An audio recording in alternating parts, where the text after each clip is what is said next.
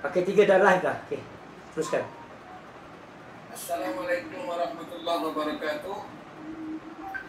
Hadirin hadirat tuan-tuan dan puan-puan yang dirahmati oleh Allah Subhanahu taala. Yang berusaha pada pagi yang penuh keberkatan ini Tuan Haji Ishaq bin Uthman, Ketua Penolong Pengarah Kanan Sektor Pendidikan Islam Negeri Pahang dan juga merangkap pengusi pedis uh, saya ini uh, beliau hadir pada pagi yang keberkatan ini tentu juga dilahirkan daripada uh, berdiskusi kita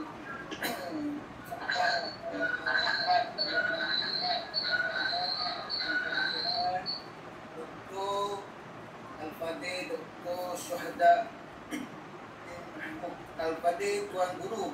Haji Syuhada Mahmud Seterusnya tuan-tuan guru Asatidah Ustaz-Ustaz, Ustazah-Ustazah, guru-guru takmir di seluruh negeri Pahang dan juga kita menjemput uh, guru-guru pendidikan Islam di seluruh negeri Pahang, guru-guru sekolah menengah agama uh, negeri Pahang dan guru Al-Quran Asrama negeri Pahang. Hadirin hadirat yang dirahmati Allah Subhanahu wa taala. Pada pagi ini yang dengan keberkatan ini untuk kali-kali pertamanya lah kita membuat, membuat uh, satu usaha dakwah secara online yang besar lah, yang berluas iaitu menggabungkan seluruh guru-guru yang mengajar negeri Pahang ini untuk makluman juga uh, kepada Dr. Syahadat, guru takmir ni guru-guru yang mengajar masjid di negeri Pahang dan, dan untuk uh, untuk makluman uh, Dr. Syahadat juga uh, lebih kurang ada 400 kuranglah guru-guru yang mengajar di, di negeri Pahang ini. Juga untuk makluman uh, tuan guru kita uh, gitu ketua penolong pengarah kanan tuan guru uh, Haji Ishaq untuk makluman juga lah mungkin beliau uh, berkaitan lah gitu. Seterusnya tanpa melengahkan masa bagi memberkati majlis kita yang penuh dengan keberkatan ini dan majlis dan takdirnya mempersilakan Al-Fadhil Ustaz Mahmud bin Ahmad daripada Sekolah Menengah Sampai Pulai untuk memimpin bacaan uh, dipersilakan.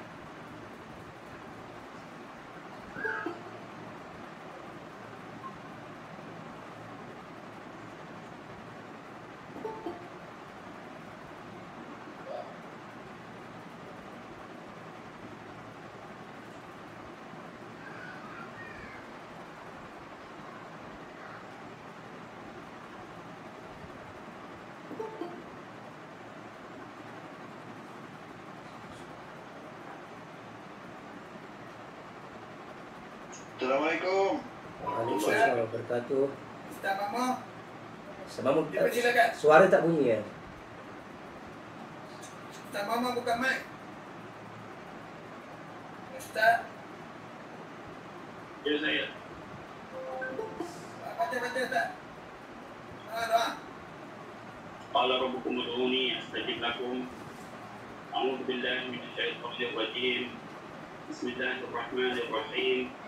الحمد لله رب العالمين والصلاة والسلام على أشرف الأنبياء والمرسلين وعلى آله وصحبه أجمعين. اللهم انشرنا شهور المحبة بيننا واربط قلوبنا بالكرم واحسن أخلاقنا بالنور والهداية وثبت قلوبنا بكل رعاية. اللهم ارزقنا متابعة نبينا محمد صلى الله عليه وسلم. وجعلنا من الساجدين لوجهك الكريم.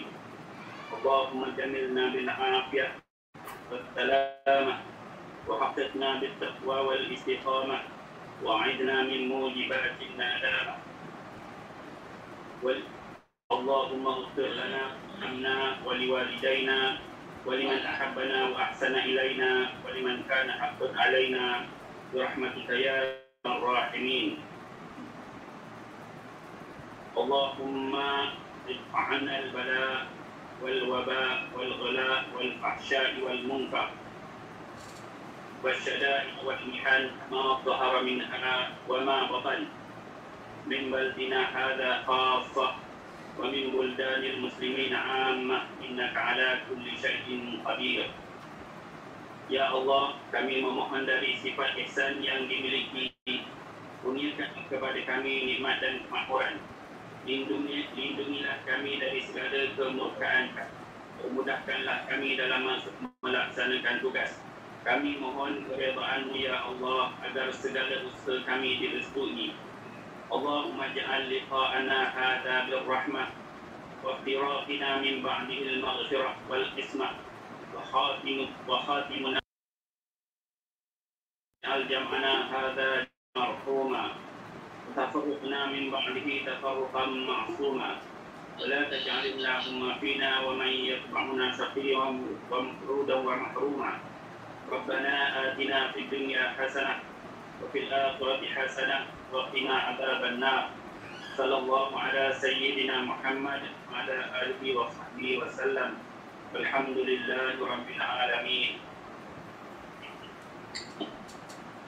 Alhamdulillah, Alhamdulillah ya majlis dengan penuh Nantinya Ucapkan ribuan terima kasih kepada Ustaz Mahmud Di atas pimpinan bacaan doa tadi Mudah-mudahan diterima dimudahkan oleh Allah Subhanahu Wa Taala.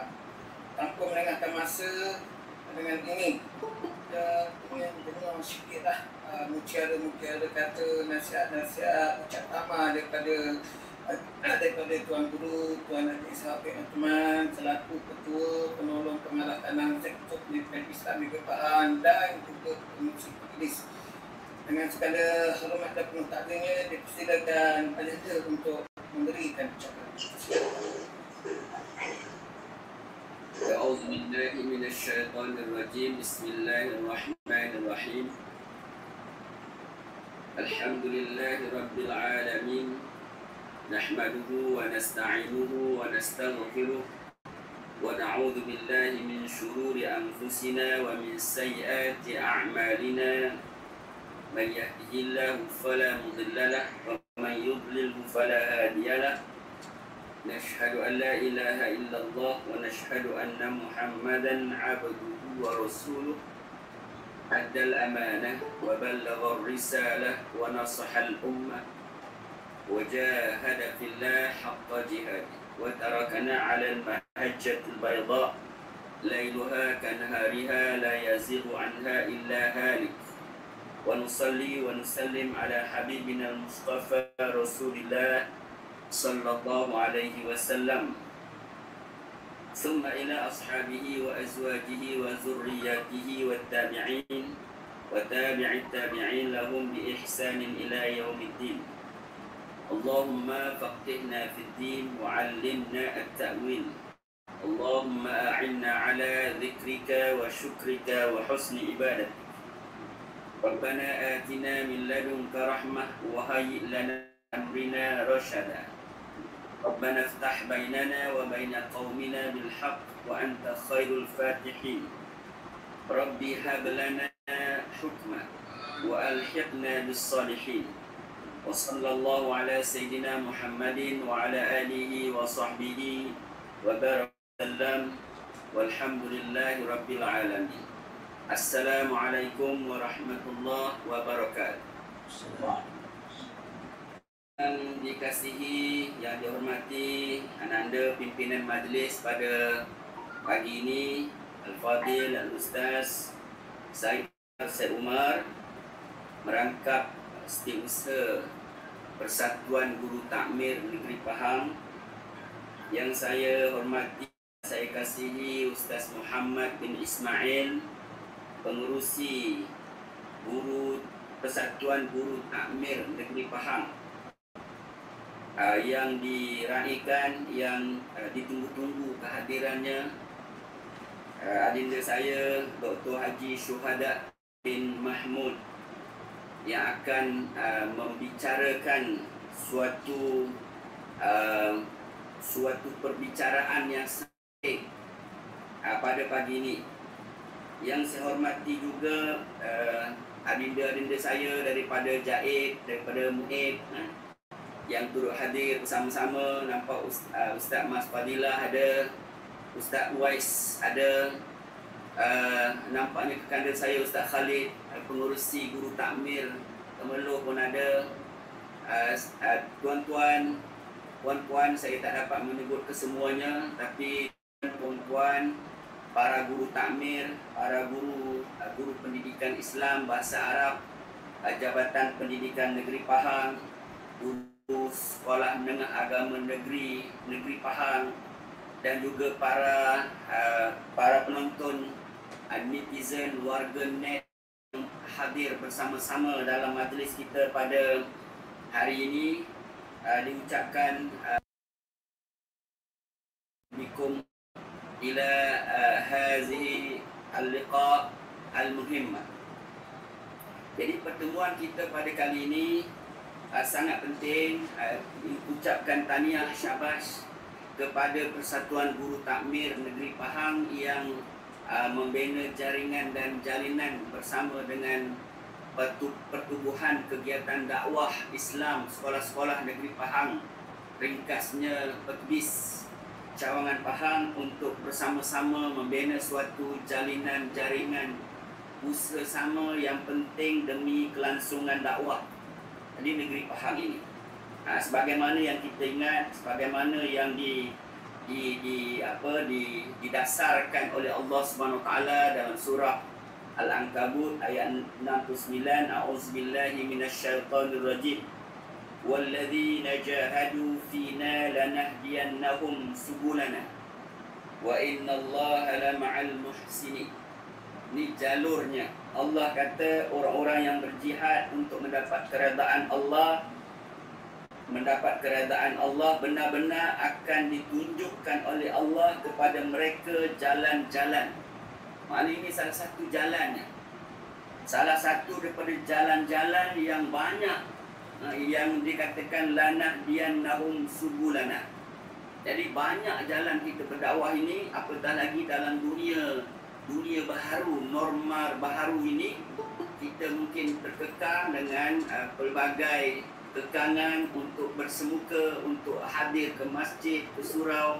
Jadi inilah wahana baharu yang kita ada untuk kita uh, mendapatkan sesi perkongsian, mendapat tikupan ilmu daripada ahli-ahlinya supaya kita sentiasa disirami, disuburi uh, dengan baja-baja keilmuan supaya hidup kita ini berada pada landasan yang betul, pada landasan syariat.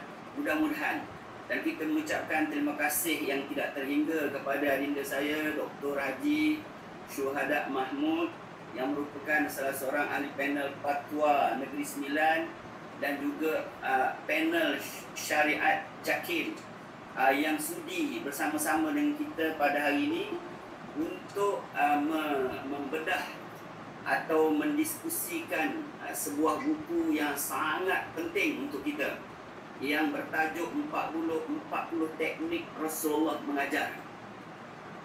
Dan kita akan bagi uh, ruang yang seluas-luasnya uh, walaupun ruang waktu yang kita peruntukkan 2 jam ini sebenarnya uh, sangat sedikit, sangat kecil berbanding dengan sebuah buku yang hendak di, didiskusikan kepada kita tempoh masa 2 jam ini sangat sedikit. Tapi kita akan mengambil peluang 2 jam ini untuk kita mendengar, untuk kita mendapat manfaat yang akan dititipkan oleh uh, yang berbahagia Dr. Haji Syuhada kepada kita ini suatu jaringan, suatu jalinan. Dan kita uh, uh, mengharapkan jaringan dan jalinan ini diperluaskan. Mungkin selepas ini bersama-sama dengan Mu'id mungkin bersama-sama selepas ini dengan Jaid untuk kita sama meluaskan dia konsep jaringan jalinan untuk kita mendapatkan jalan-jalan dakwah ini terus berkembang.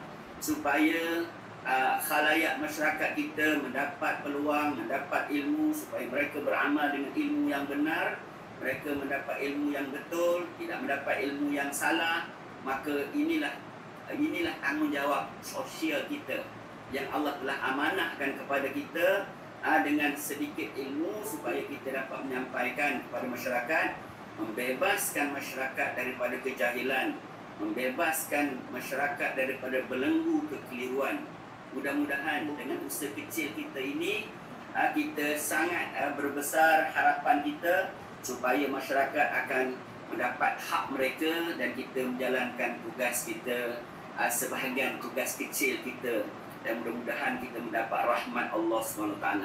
Jadi diucapkan selamat berdiskusi Selamat menikmati suatu majlis ilmu yang sangat uh, dirahmati oleh Allah, yang sangat disukai oleh Allah uh, dan mudah-mudahan kita berdoa kerahmatan Allah kepada kita berterusan. Terima kasih. Assalamualaikum warahmatullahi wabarakatuh. Waalaikumsalam. Majlis sangat-sangat uh, mengucapkan ribuan terima kasih kepada tuan guru kita uh, Ustaz Ibn Uthman selaku ketua penolong pengalahkanan sektor pendidikan Islam dan juga pengusir polis atas ucapan yang sangat bermakna untuk memberi semangat lah kepada kami-kami ni Ketuan Takmir, Jabatan Agama, ada ucapan Fadilah, atau Uis, Uis, Pak Uis, Al-Putani, Orang Jabatan, kita memang nak buat satu kerjasama yang sangat baik untuk dakwah ini. Jadi, hadirin, hadirat, tuan-tuan dan perempuan yang dimuliakan oleh Allah SWT, tanpa melengahkan masa, ya, kita nak kepada pendiskusi terus. Sebelum tu, saya dengan ini memaklumkan slot kita ni ada empat kali. Ini slot yang pertama, tak sahaja. Untuk uh, 40 teknik Rasulullah mengajar. Kita akan ada slot yang kedua, ketiga dan keempat tu mungkin kita akan tutup lah. Dan uh, saya tidak melupakan uh, kepada expo pendidikan negeri Pahang yang support kita punya program ni lupa nak sebut tadi tapi dia tak masuk dia kata uh, dia nak masuk dalam SP sahaja cuma dia juga bikin salah kepada terutamanya kepada Tuan Guru Adi Syafrul lah di atas uh, di atas dapat juga bersama bersama menjayakan program ini dan dia salah juga dekat Dr. Syahadat yang dia dia kenal uh, itu expo agama di Pahang Datuk Sri Tatain kenal kepada Dr. Syahadat dan bila saya hantar elan tu tu dia respon Uh, dan tanpa melengahkan masa uh, doktor ya. Uh, kita ni untuk makluman hadirin hadirat kita sejam je. Kita nak ada soal jawab sedikit. Kita berhenti sebelah setengah. Macam tu.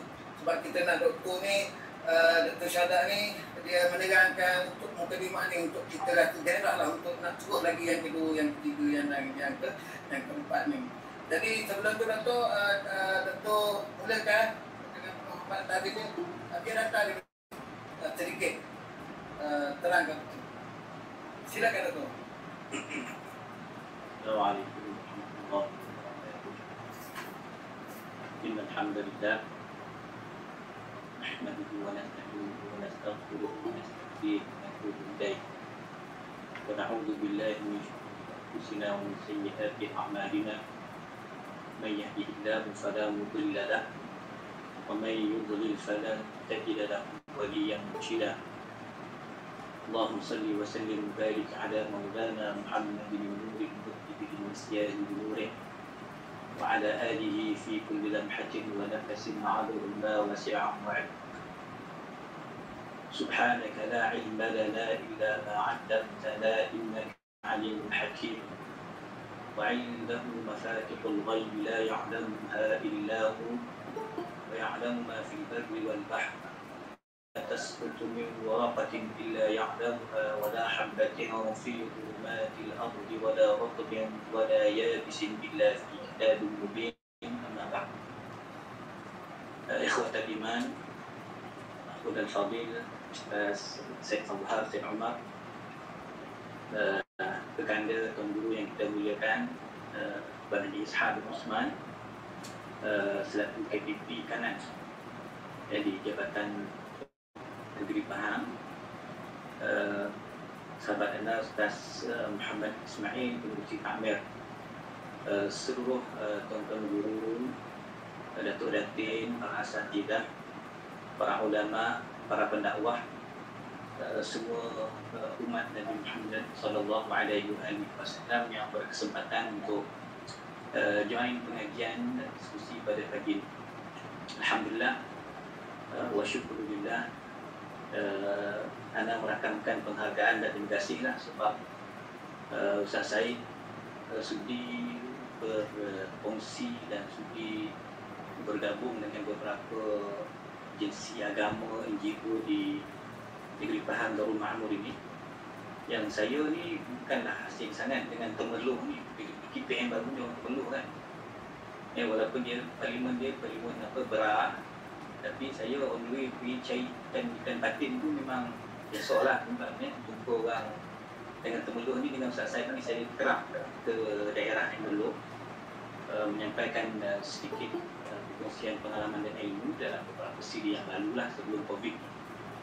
Jadi apa yang cuba kita uh, sempurnakan pada perbincangan pagi ini dalam tempoh ruang satu jam yang diberikan kepada saya untuk saya cakap sedikit ya, tentang buku ini uh, dan uh, saya sangat teruja dengan mukadimah uh, Tuan Guru kita tadi tu Ishak yang memberikan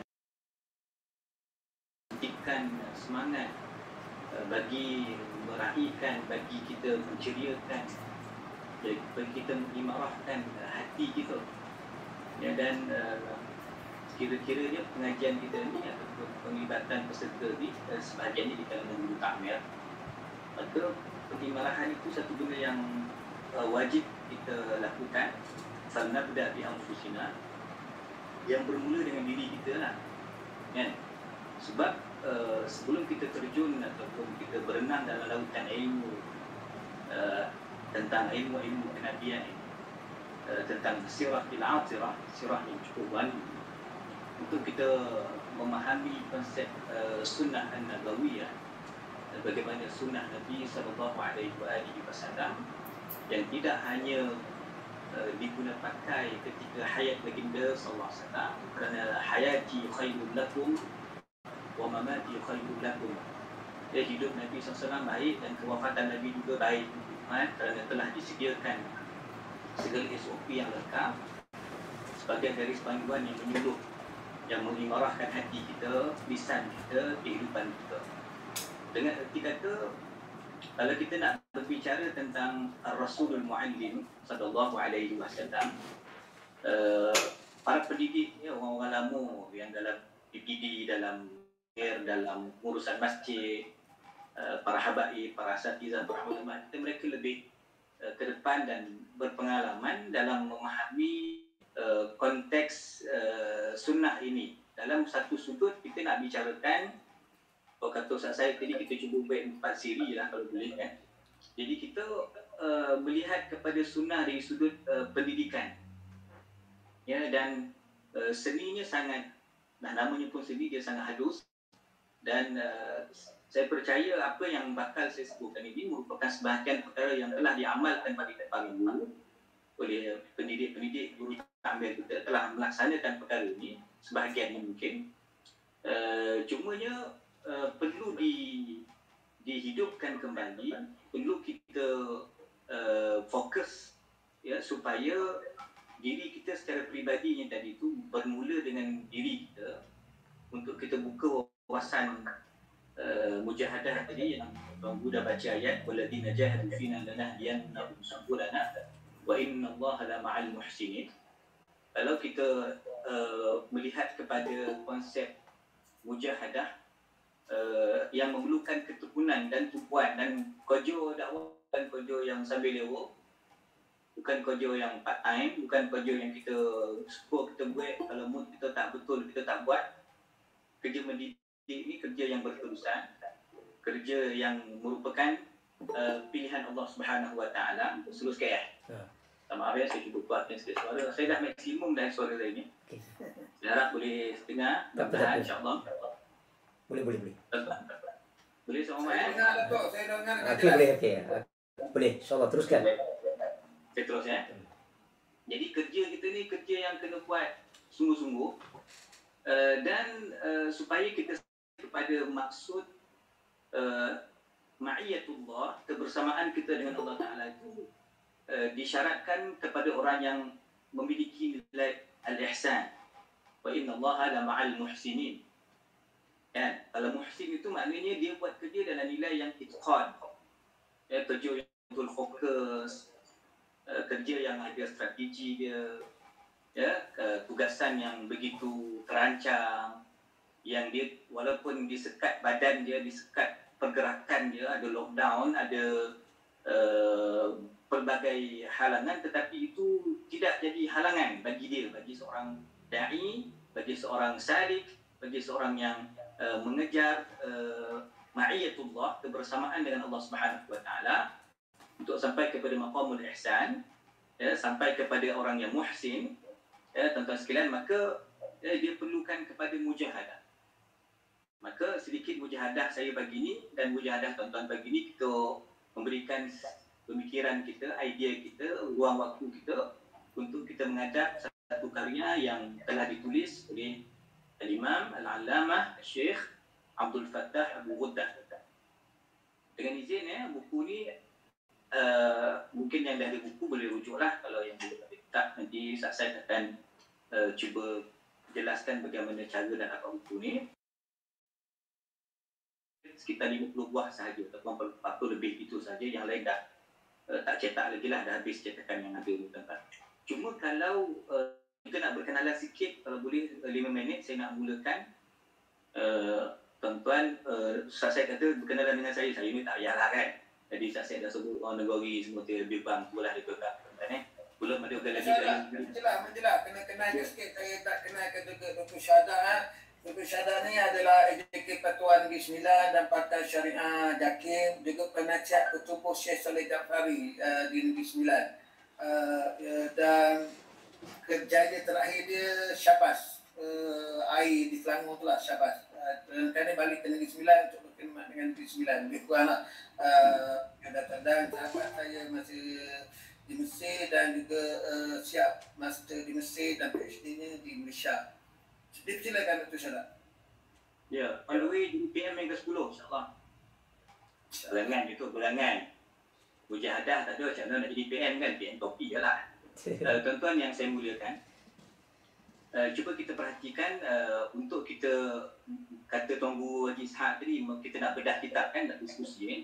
Jadi antara perkara asas yang perlu kita faham ialah untuk kita faham metod manhaj penulis itu uh, kita kena kena kena kenal sikit siapa dia pengarang dia tadi muallif dia kan uh, dan uh, muallif ni yang namanya Syekh Abdul Fattah bin Muhammad bin Bashir Abu Ghuddah jadi seorang ulama daripada bumi Halab Syria dan saya percaya ramai di kalangan uh, anak-anak Pahang yang mengaji di Syria di bumi Syam.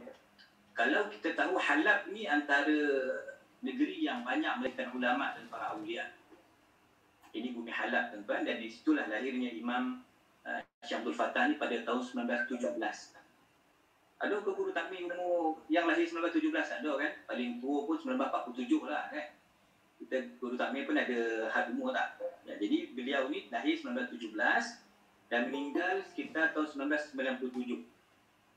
Uh, kami masih di Mesir lagi tahun 2 saya kan tahun 7 tuan eh tahun 3 kuliah lah masa tu eh maka Syekh Abdul Fattah Abu Hudah ni tuan merupakan seorang yang uh, begitu disegani uh, oleh kawan dan lawan. Kerana beliau ni seorang yang tuan-tuan kepakaran dia dalam bidang hadis uh, berhanafi uh, seorang sufi yang tidak uh, pula terlibat dengan mana-mana tarikat sufiah tetapi beliau seorang sufi ahli sufi. Uh, dan tuan-tuan seorang ahli hadis yang mungkin sedikit berbeza dengan uh, suasana uh, ilmuwan hadis pengkajian zaman era 2021 ni sebab uh, sebahagian ataupun sebahagian kecil orang yang mengkaji hadis ni dia ada sedikit fobia dia tak berapa mesra dengan uh, orang fiqah sebagian maulana hadis ni dia tak berapa mesra dengan orang tasawuf. Tapi hadis yang sebenarnya dia merangkumi segala merentasi semua bidang tersebut lah. Uh, kalau saya kata tadi Syamsul Fatah Abu Huda radhiyallahu an walaupun uh, beliau bukan seorang uh, syekh tariqat tetapi beliau sangat menghormati mengkagumi uh, para masyayikh yang memimpin tariqat. Okey, maknanya dia lah. Dan tuan-tuan walaupun beliau ni seorang yang bermazhab Hanafi dari sudut fik beliau tetapi beliau jelas dari sudut menghormati rentasan uh, pelbagai uh, fiqah itu beliau juga memahami bagaimana uh, rentas yang boleh dilakukan uh, di dalam kepelbagaian uh, khilaf yang berlaku pada sudut fik dari sudut tuan-tuan keilmuan Syahbul Fatah Abu Hudah ni kalau kita perhatikan pengajian beliau di, beliau di Al-Azharul Syarif ya uh, menyediakan uh, master beliau di Al Azhar ya yang menyebabkan uh, beliau uh, dapat uh, duduk dan bertalaqi dengan para masyayikh di Al-Azhar Syarif termasuk juga di bumi India. Saya percaya juga kita ada Maulana uh, di Pahang dan beberapa para masyayikh juga yang uh, berkemahiran dalam bidang hadis. Maka itulah uh, Syekh Abdul Fatah Abu Huda tuan yang uh, dia bukan hanya duduk di library. Ini satu perkara yang perlu kita fahamlah ya. Bukan hanya jadi bulat buku ya, tetapi menjadi orang yang faham dengan prinsip talaqi. Ustazuhul kitab fa khata'uhu min as-shawab.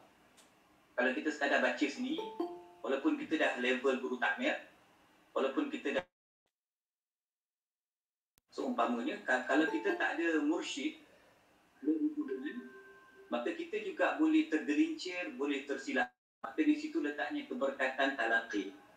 Keberkatan kita menadah kita dan uh, tuan-tuan sekalian saya ingatkan diri saya dan semua asatizah yang hadir.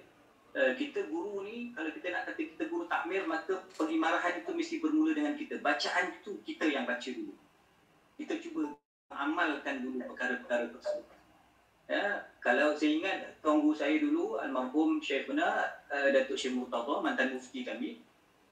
Murtada tuan-tuan dia komen secara tegas. Dia kata masjid kalau yang tak ada kitab sama macam balai polis tak ada pistol maknanya balai polis tapi tak ada senjata tak ada kelengkapan.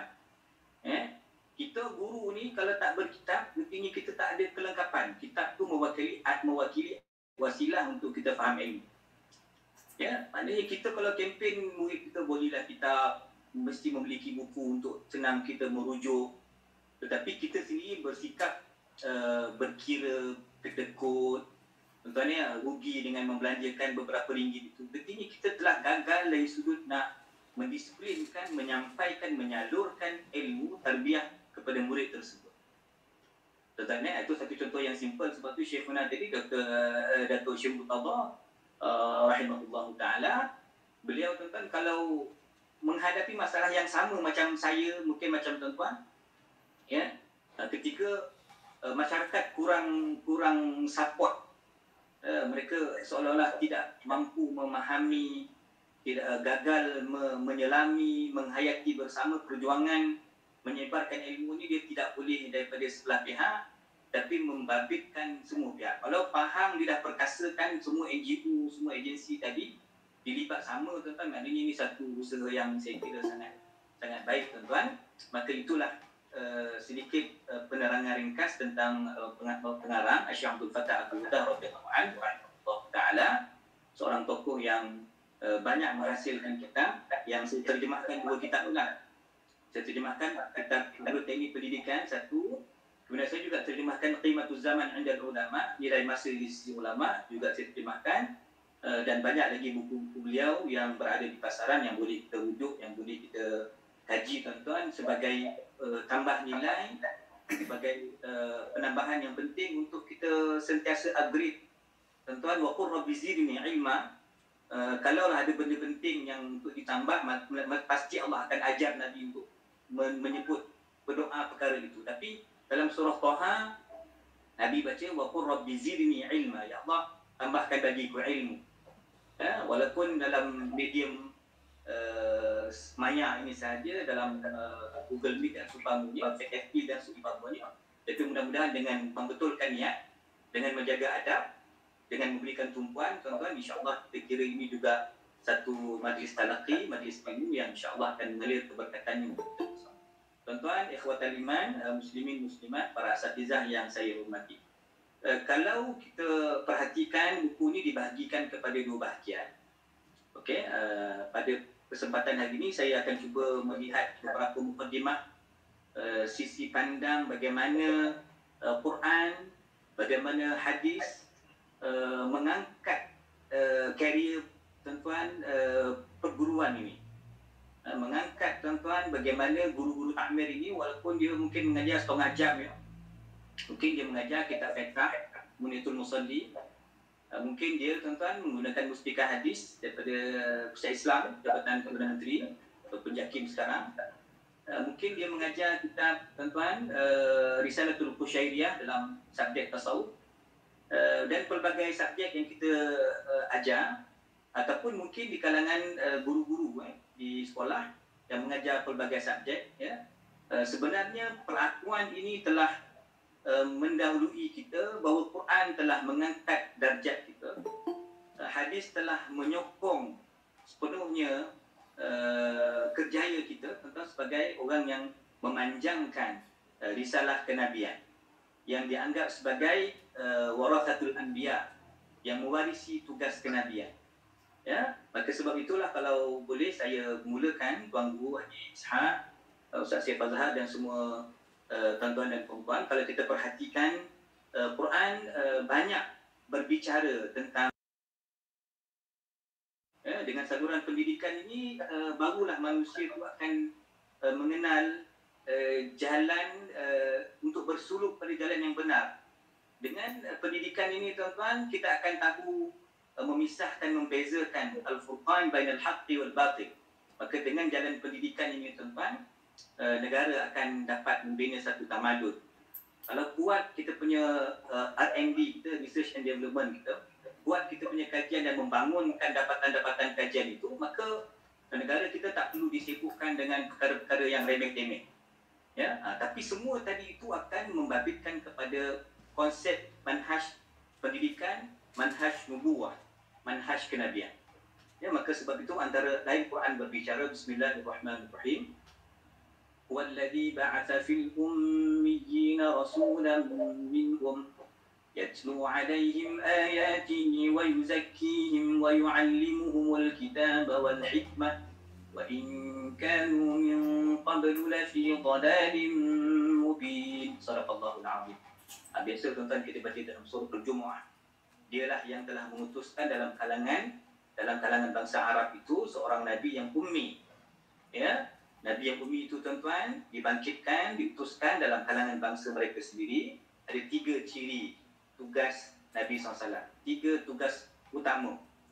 Terasnya tuan-tuan, satu yang disebut sebagai tilawah. Yatlu alaihim ayati. At-tilawah. Okey, iaitu membacakan kepada mereka ayat-ayat Allah. Bagaimana membentangkan kebesaran Allah. Ya, cerita pasal uh, kandungan dalam paut. Fi zulumatin thalathah ya, tiga lapisan yang saya baca uh, Said dalam tafsir Munir. Uh, itu menyebabkan uh, dan dalam tafsir Al-Maraghi Syekh Ahmad Al-Maraghi Syekh Ahmad Mustafa Al-Maraghi uh, antara Syekh Al-Azhar.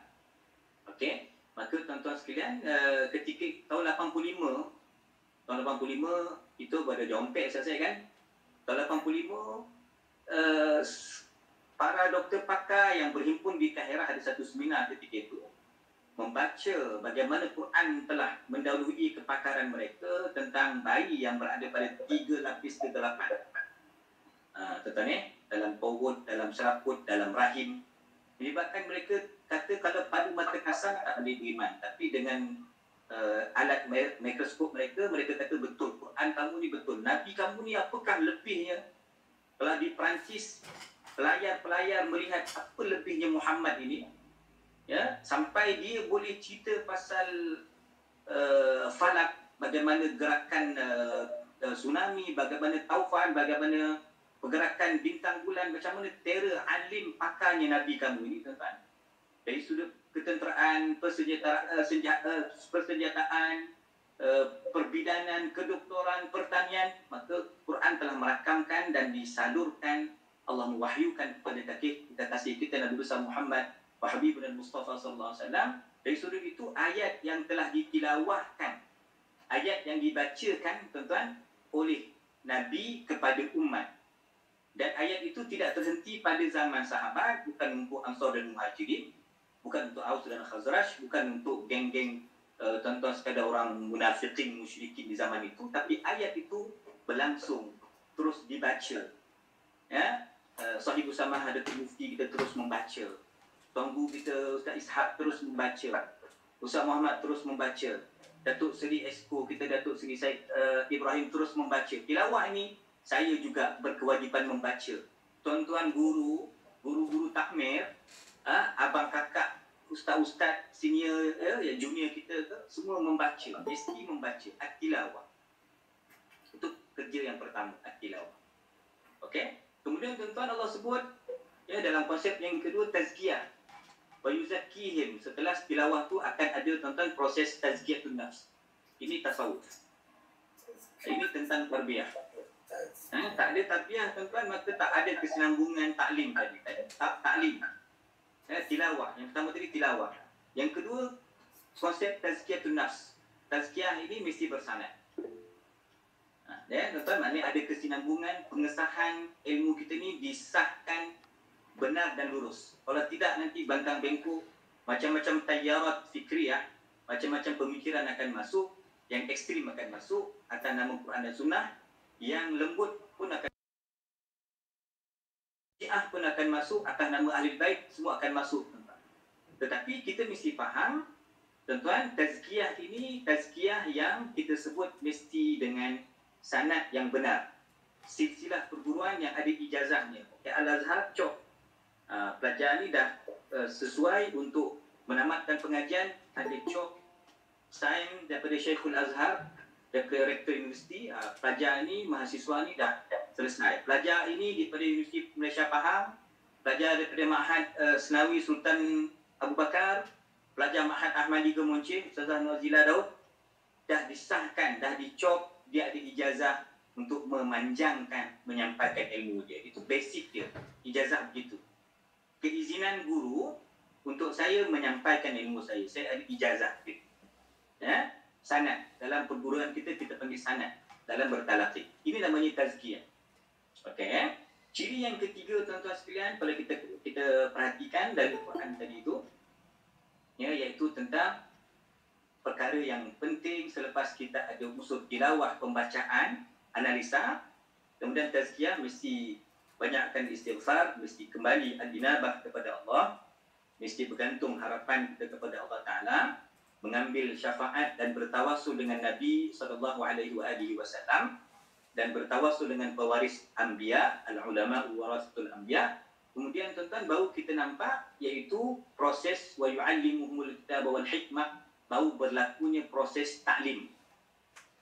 Nampak tak? Dia ni step kalau surah Baqarah ni dia nak bagi kita study dulu, kemudian amalkan, baru boleh sampaikan. Ha, walaupun ada dalam uh, dalam uh, ini dalam surah Jumaah kan, dalam surah Baqarah dia ada sedikit uh, perubahan, uh, didahulukan tuan-tuan uh, taklim dulu, kemudian baru dia sebut tazkiyah. Ini sedikit. Tuan-tuan, asas yang mesti kita pasakkan dalam jiwa kita sebagai pendidik, ketiga-tiga ciri ini mesti ada pada kita lah. Walaupun yang bercakap ni pun tak tak adalah sempurna mana, taklah semoga mana tuan tapi maknanya usaha untuk memperbaiki itu mesti terus berlaku. Dan uh, kalau tak boleh faham kita Arab, cek terjemahan pun tak apa. Kalau belum kuasai bidang itu dan kita bukan boleh merentasi semua bidang. Betul kan? Ayahanda, uh, tekanda kami, saya Ishak kan, kita tak boleh alim semua bidang. Kita boleh tahu satu, uh, kan? Kita tak boleh tahu semua. Kita bukan uh, ada kemampuan begitu. Memang keterbatasan. Memang Allah akan bataskan tuan-tuan wa fawqa kulli dhi ilmin alim.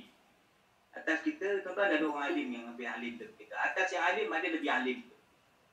Jadi maknanya kita ni uh, perlukan uh, kebersamaan uh, untuk menggerakkan tuan-tuan dunia pendidikan ni agar dia subur, tuan-tuan agar dia sempurna, uh, ke mesti kita tuan-tuan sekalian bersama. Dia mungkin pakar dalam IT tapi dia lemah dari sudut penyampaian dia memang handal di sudut ceramah tapi dia tak boleh menulis. Memang kita akan ada sudut kelemahan kita tuan tetapi kita memandang itu sebagai macam mana kita nak uh, menampung tuan-tuan kelemahan-kelemahan itu agar uh, dakwah yang kita junjung bersama ini tarbiyah taklim tazkiyah yang kita nak uh, sampaikan tuan uh, sampai kepada sasaran kita insya-Allah. Ikhwatan iman uh, tuan-tuan dan puan-puan yang dimuliakan ya.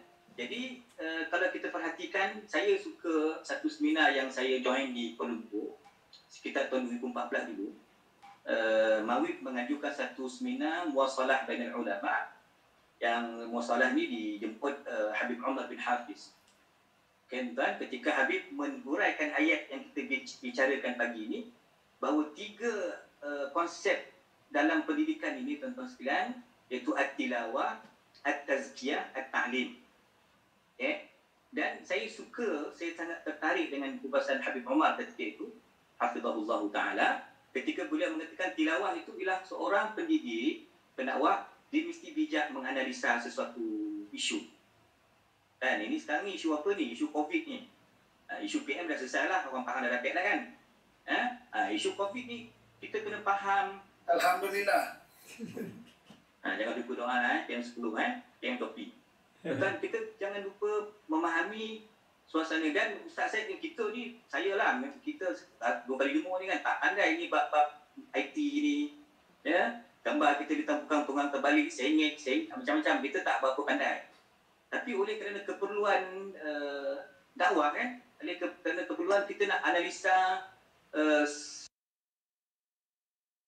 terus leka yang dah dah syukur dah tak ada Jumaat ni masjid tutup yes dia memang syukur. Kita tak boleh membiarkan kelekaan itu. Ya kalau kumpulan yang ekstrim terlampau bergantung dengan vaksin pun kita tak nak macam tu. Ataupun ekstrim yang anti vaksin pun kita tak nak macam tu kan? Bagaimana nak bagi faham umatan wasaqah dan faham advance sebab uh, tuan guru kami tuan guru Syekh Rauf dia duduk di Tampin. Kan? Di pondoknya di Tampin. Kementerian di Tampin? Negeri Sembilannya tapi dia sekarang dilantik sebagai salah seorang uh, jawatan kesempatan di, uh, di Negeri Pahang maka uh, uh, kepakaran-kepakaran yang ada di Pahang Baru Makmur ini maka uh, tuanku ataupun pemangku sultan dah keluarkan satu kenyataan yang viral pada dua minggu lepas maknanya uh, diharapkan tidak berlaku apa tadi double standard kepada kumpulan-kumpulan yang mungkin belum terbuka pintu hati dia nak nak cucuk vaksin tu. Ha, jadi maknanya mereka juga harus diberikan peluang untuk masuk ke masjid. Dan seumpamanya sekiranya mereka ni memenuhi SOP uh, kesihatan dan seumpamanya. Ha, jadi maknanya uh, uh, berdasarkan kajian itu dia nakkan supaya kita ni dari satu sudut kita jangan jadi terlampau kita tak boleh jadi anti dan tak boleh tak bergantung dengan vaksin tu sebab yang dua kali vaksin pun dia boleh datang juga penyakit. Dan kita mati ni hidup mati kita bukan bergantung dengan ubat tapi bergantung dengan Allah Ta'ala. Itu asbab tuan-tuan yang ikhtiar kita dalam akidah al-sunnah wal jamaah ikhtiar itu tidak merosakkan keimanan kita kepada Allah Ta'ala. Ha, itu kewajipan kita berikhtiar lah. Maka tuan-tuan sekalian menganalisa macam mana nak faham student yang pelbagai latar belakang. Kita kena ingat anak-anak kita tu ada yang keluarga yang berpisah ha, dia punya latar belakang dia landscape ya? Yeah? ada keluarga yang memang anak orang senang abah ada KL tak ada duduk temuluh dia kata dia tak ada selah jengka dah. Dia duduk KL tu ha. ha duduk mana tuan-tuan? Memang makan COD je. Tak makan nasi makan COD semua ada tuan tak kena dapur gas dah jadi macam mana orang-orang yang uh, memang orang senang ataupun orang yang acah-acah kayu ni pun banyak belakang kayu tapi susah pun macam mana tuan-tuan ha, ini semua merupakan ya mesti dianalisa dengan baik oleh pendidik. Nah, saya kira yang bijak dalam menganalisa ni antaranya orang politik. Ini ini satu kelebihan mereka yang tak boleh kita nafikan. Dia pandai baca dia nak tackle dia orang, macam mana nak suruh orang sokong dia. Dia, dia pandai. Dan kat situ analisa itu, skill itu kita kena belajar dengan orang politik. Sebagian mereka saya rasa memang begitu tuan-tuan. Tuan-tuan sekalian, maka menganalisa ini merupakan satu kepakaran yang mesti kita kuasai. Masuklah kursus nanti dan saya kira pengalaman-pengalaman uh, kehidupan kita insyaAllah lama kelamaan tuan-tuan kita akan jadi orang yang uh, faham yang bijak dalam menganalisa yang disebut sebagai tilawah itu komentar yang disebut oleh Habib Omar bukan hanya tilawah tekstual teks bukan tilawah. Baca bukan tilawah. Tuan-tuan memandang menyebut tetapi tilawah itu lebih daripada sudut itu tuan-tuan iaitu tilawah. Ya kita memahami tuan-tuan tilawah dari sudut kita menganalisa sesuatu isu. Ya okey tazkiyah tadi penting. Ya tazkiyah kita guru-guru ini mesti ada aurat. Ya tuan-tuan ni mesti ada wirid. Man laisa lahu wirdun fa huwa qirdun guru tuan-tuan mesti ada al-aurat baru datang di sana al-walidat ini bahasa orang sufi ya mesti ada aurat mesti dengan makturat, mesti dengan tilawah Quran, mesti dengan dikir, mesti ada selawat. Masya Allah tabarakallah baru datangnya tuan-tuan, ya al uh, al walidat anugerah anugerah ketuhanan. Dengan kita berpegang tuan-tuan dengan uh, amalan hati kita, dengan amalan kita tuan-tuan maka perjalanan takmir kita pengajian PNP kita ataupun hari ini PDPR kita tuan-tuan akan menjadi lancar, menjadi mudah. Kenapa tuan-tuan? Kerana kita bukan hanya dengan bahasa lidah, bukan hanya dengan IT tetapi bahasa yang paling tinggi ialah tentang tazkiyatun nafs iaitu bahasa hati. Itu tentang tarbiyah.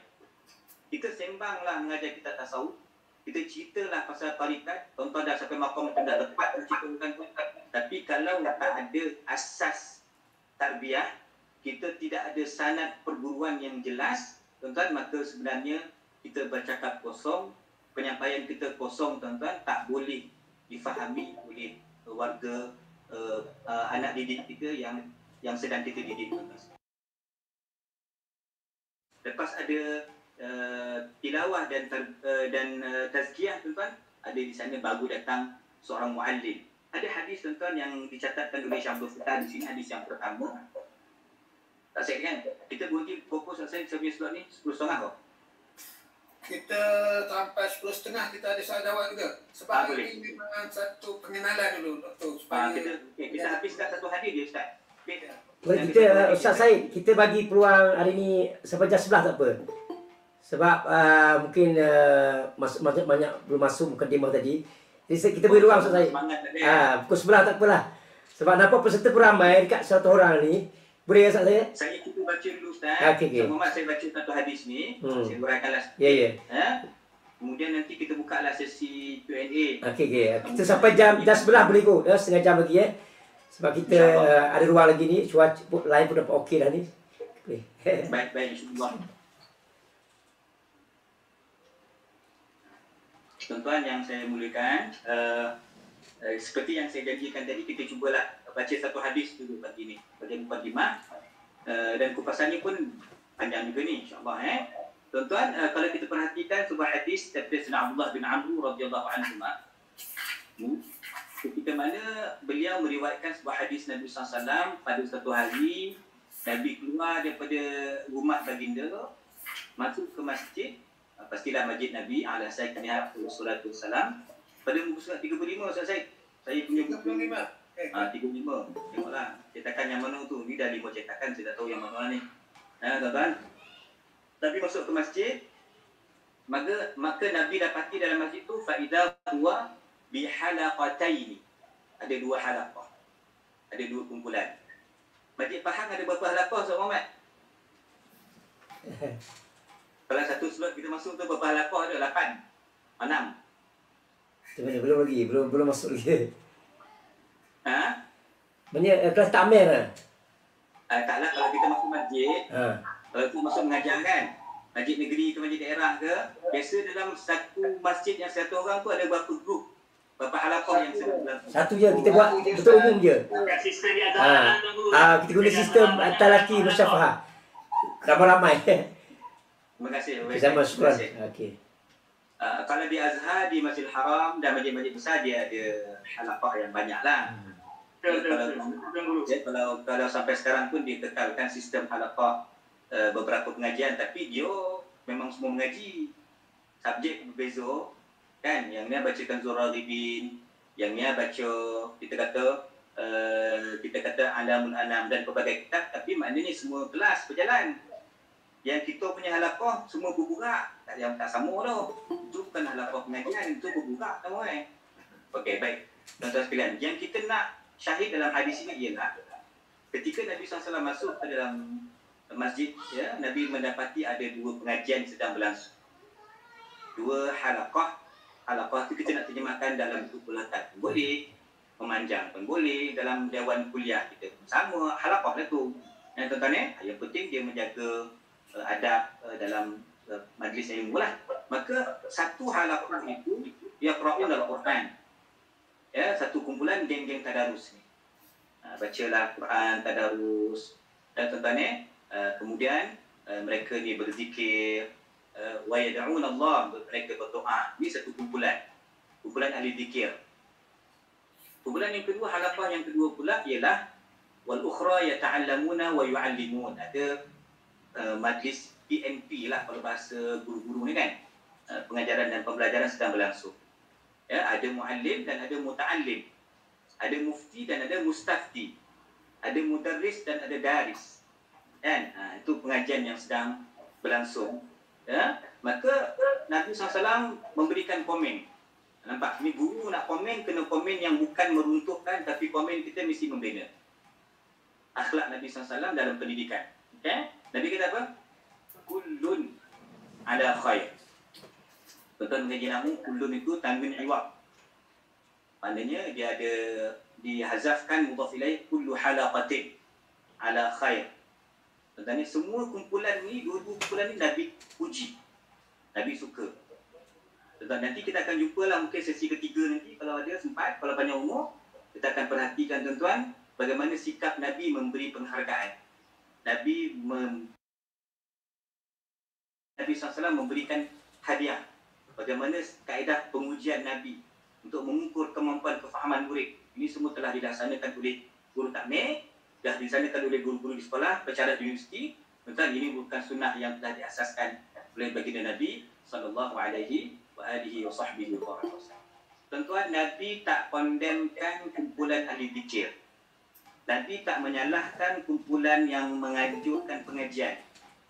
Walaupun mungkin malam tu malam Jumaat. Tentunya kita kalau kami di Seremban Negeri Sembilan ni, kami malam Jumaat uh, insyaAllah konsisten uh, cuba uh, melaksanakan Yasin dan Dikir mingguan. Uh, itu yang kami cuba buat lah. Uh, kecuali kalau memang susah nak dapat uh, penceramah itu, uh, dia kosong malam Jumaat tu, okay, kita boleh on malam. Uh, ataupun memang bersempena dengan malam Jumaat itu, itu hari uh, kejadian Isra' Mi'raj contohnya, Uh, contohnya kita kata nak sambut awal Muharram, uh, uh, ceramah mahal hijrah. Kalau itu malam yang bersesuaian walaupun malam Jumaat, kita boleh raikan, kita layan juga.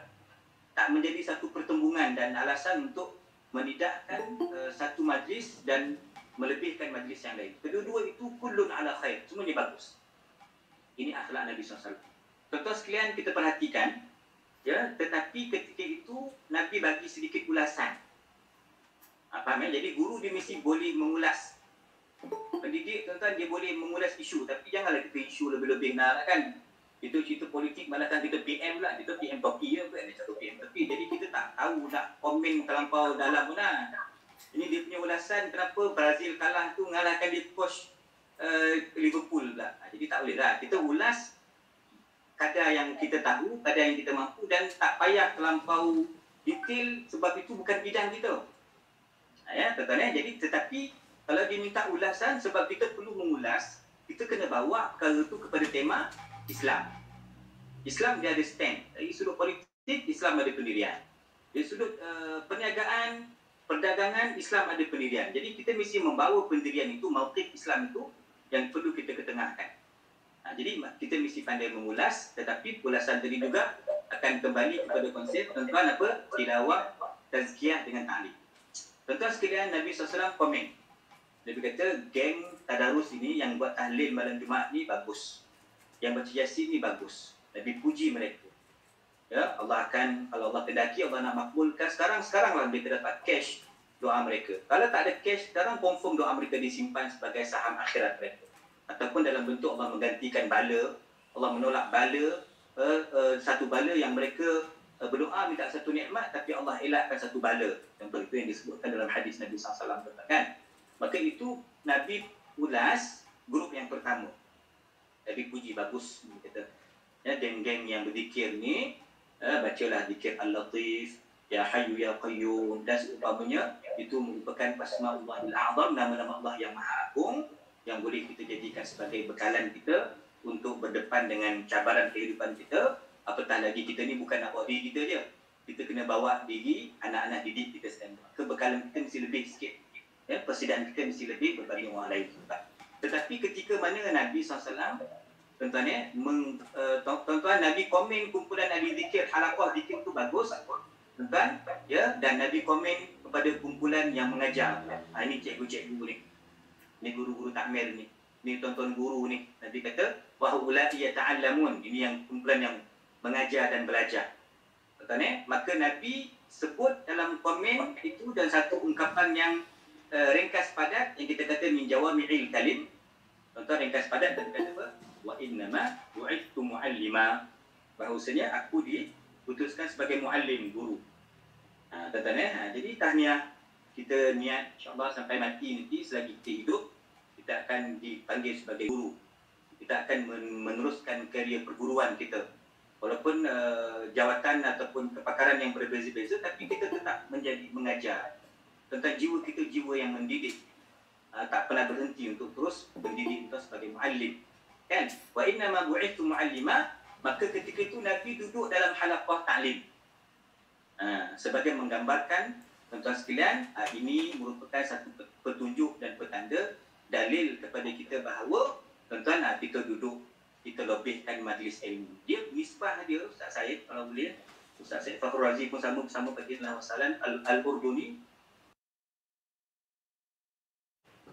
Uh, nisbah dia kalau saya ingat dulu Latif Farfuk sebut dia nisbah satu nisbah tiga.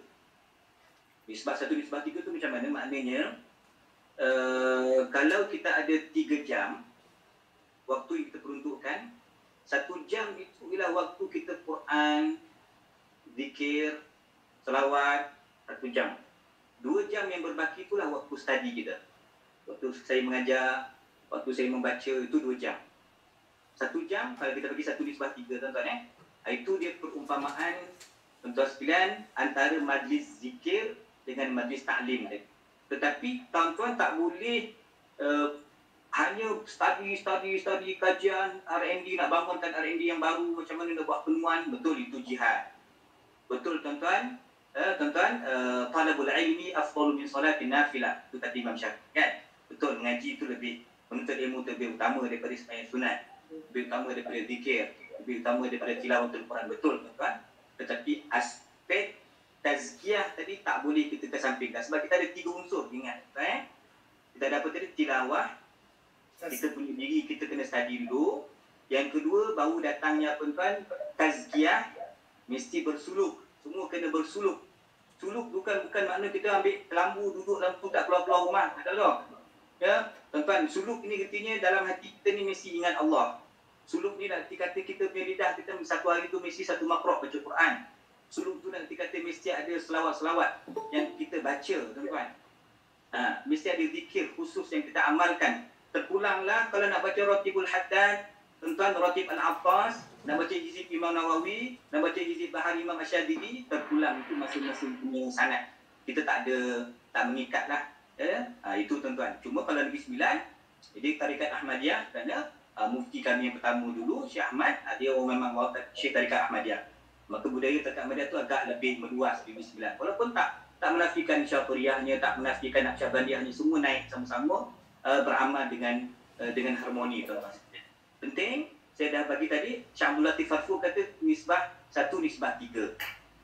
Satu tuan-tuan maknanya kita punya tazkiyah yang dua tadi mesti ada bacaan tilawah kita punya bacaan. Tuan-tuan, yang ketiga iaitu baru sampai ke proses penyampaian tabligh iaitu dikatakan sebagai taklim. Ha, ingat ayat tadi itu telah memberi petunjuk kepada kita bagaimana uh, kita nak menyusun jadual, memastikan bahawa penyampaian kita insyaAllah lepas ni lebih berkaitan. Tuan-tuan, pengajaran hadis, okay, antara pengajaran hadis yang uh, disebut di situ, uh, saya tak bacalah detail, uh, tuan-tuan sekalian, Uh, cumanya kalau boleh Syed kita ambil satu lagi hadis pendek Ustaz Syed. Ya, hadis uh, daripada uh, tuan-tuan Nabi SAW bersabda, "Inna Allah lam yab'athni mu'annitan wala muta'annita, walakin ba'athani mu'alliman muyassira." Ya, hadis bermaksud Nabi SAW uh, diutuskan oleh Allah Taala bukan untuk menyukarkan. Bukan nak cari salah, nak menghentam, Orang tadi tuan guru kita pun sebut netizen. Saya payah nyebut netizen-netizen ni tuan eh. Ha, kan? Ini memang bahasa hari ni lah. Tuan, kita bukan nak mencari salah orang, nak membuka aib orang, nak menyusahkan orang. Itu bukan dakwah dan metod manhaj pendidikan Nabi SAW. Kerana Nabi kita tuan-tuan, uh, ba'atali mu'alliman muyassira. Nabi dibangkitkan tuan-tuan sebagai seorang mu'allim. Dan uh, simple. Eh, maknanya simple itu ialah tidaklah terlalu terpompong dengan protokol. Maksud simple itu ialah kita tak adalah terlampau uh, orang kata lurus macam pembaris. Ini, ini pen, kan? Pembaris ada orang. Lurus. Lurus. Macam wahyu. Kalau wahyu tak boleh tak ijaz. Kalau nas dah ada, nas yang qat'i yang telah dijmakkan qat'iyatul dilalati wa thubut, ah, itu kita tak boleh ijaz apalah. Tapi kalau dia dhanniyud dilalah, eh, terjemahan pentafsirannya masih terbuka. Ulama masih berkhilaf dari sudut itu. Ulama apatah lagi kita yang pakar apa, pedagogi tapi istilah-istilah keguruan kan dari sudut teknikal ni pun tuan-tuan tak boleh samakan sekolah bandar dengan sekolah fenda. Saya rasa macam tu lah. Kita tak boleh samakan didik uh, masjid uh, saya mengajar di masjid negara tuan-tuan. Ya? Ada pula Tuhan bulanan saya masjid negara. Walaupun sekarang KP kita online lah. Kan? Uh, kita mengajar. Saya masuk Radio Hakim baca kitab ni Radio Hakim dulu. Buku Rasul Pendidik ni telah kita diskusikan dalam Radio Hakim. Buku ni telah saya khatamkan dekat masjid negara. Di beberapa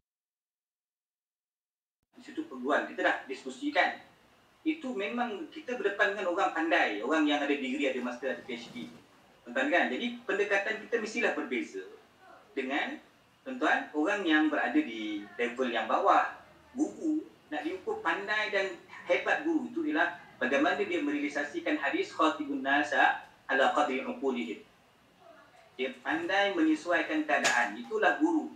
Masa bila dia dapat kelakar, kelakar ada dalam metod pendidikan dalam kitab. Begitu bila masuk ke tuan-tuan nak garang, garang tuan-tuan tegas ada dalam uh, kitab kita ini. Dan bila masa kita nak bersuara tuan-tuan suara yang um, lunak mesra, bagaimana intonasi suara itu perlu ditingkatkan, itu semua dilakukan oleh Nabi sallallahu alaihi wasallam. Tetapi poin dia dalam hadis yang pendek ni hadis Imam Muslim, Nabi tidak pernah menyusahkan umat. Nampak tak tuan-tuan eh? Ha, jadi tidak bermaksud melanggar uh, piawaian uh, pelanggan ataupun melanggar misi-misi Kementerian Pelajaran. Bukan tujuan, bukan maksud itu. Kita tidak bermaksud begitu tuan. Tetapi kita mesti ada ada kita punya uh, yassiru wala tu'assiru. Kita mempermudahkan anak-anak kita belajar. Tuan-tuan, ya, kerana konsep kita yassiru dengan basyiru. Bukan asiru dan nafiru wala tunafiru bukan konsep menakut-nakutkan menerakakan orang. Ha, kamu semua ni ahli neraka. Ha, ini semua muka bid'ah ini khurafat ini syirik. Kita bukan ahli yang begitu tuan-tuan. Pendekatan kita ialah tuan-tuan mudah memudahkan memberi kemudahan memberi motivasi dan galakan. Itu asas konsep dalam pendidikan yang diterapkan oleh Nabi sallallahu alaihi wasallam. Jadi saya kira eh, itu dululah Eh, dalam satu jam hampir tuan-tuan sekalian uh, 50 minit uh, saya telah uh, menyampaikan uh, misian saya pada pagi ini. Uh, mungkin ada penambahan ataupun apa-apa yang berkaitan saya kembalikan uh, terlebih dahulu kepada tuan pengajar Matus Alhamdulillah terima kasih kepada majlis. Dengan ini sesungguhnya uh, sangat-sangatlah berterima kasih di atas uh, kita mukadimah kitab ni kita um, 40 teknik Rasulullah mengajar ni uh, stok dah habis. Tapi saya sedang tunggu stok daripada Dr. Syada jadi siapa yang nak memilikinya boleh PM saya lah. Cepat siapa cepat dia dapat lah. Siapa cepat dia dia dapat Alhamdulillah Fatimah. Jadi hadirin hadirat tuan-tuan dan perempuan yang dimuliakan oleh Allah SWT kita bukalah uh, sedikit uh, sedikit untuk uh, pertanyaan perkongsian pertanyaan kepada Dr. Syahada yang berkaitan dengan Rasulullah Alim 40 teknik Rasulullah mengajar ni. Yang segala hormat dipersilakan kepada tuan-tuan guru, tuan-tuan yang dimuliakan oleh Allah Subhanahu Wa Taala. Ustaz dulu, pengusi. Uh, beri peluang lain lah. Uh, tak apa, saya beri peluang lain. Okey. Ramai sahabat yang ingin bertanya, teruskan.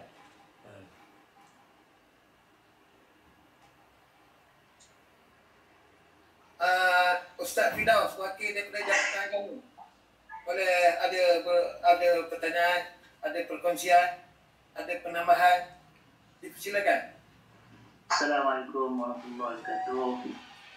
Bagi pada selesai kita, uh, kasih uh, Tuan Guru Dr. Syahadah dan juga pada Selamat Ismail. Kami syukur kepada Allah SWT kerana pada pagi ini dapat bersama saya uh, bersama dengan Tuan Guru.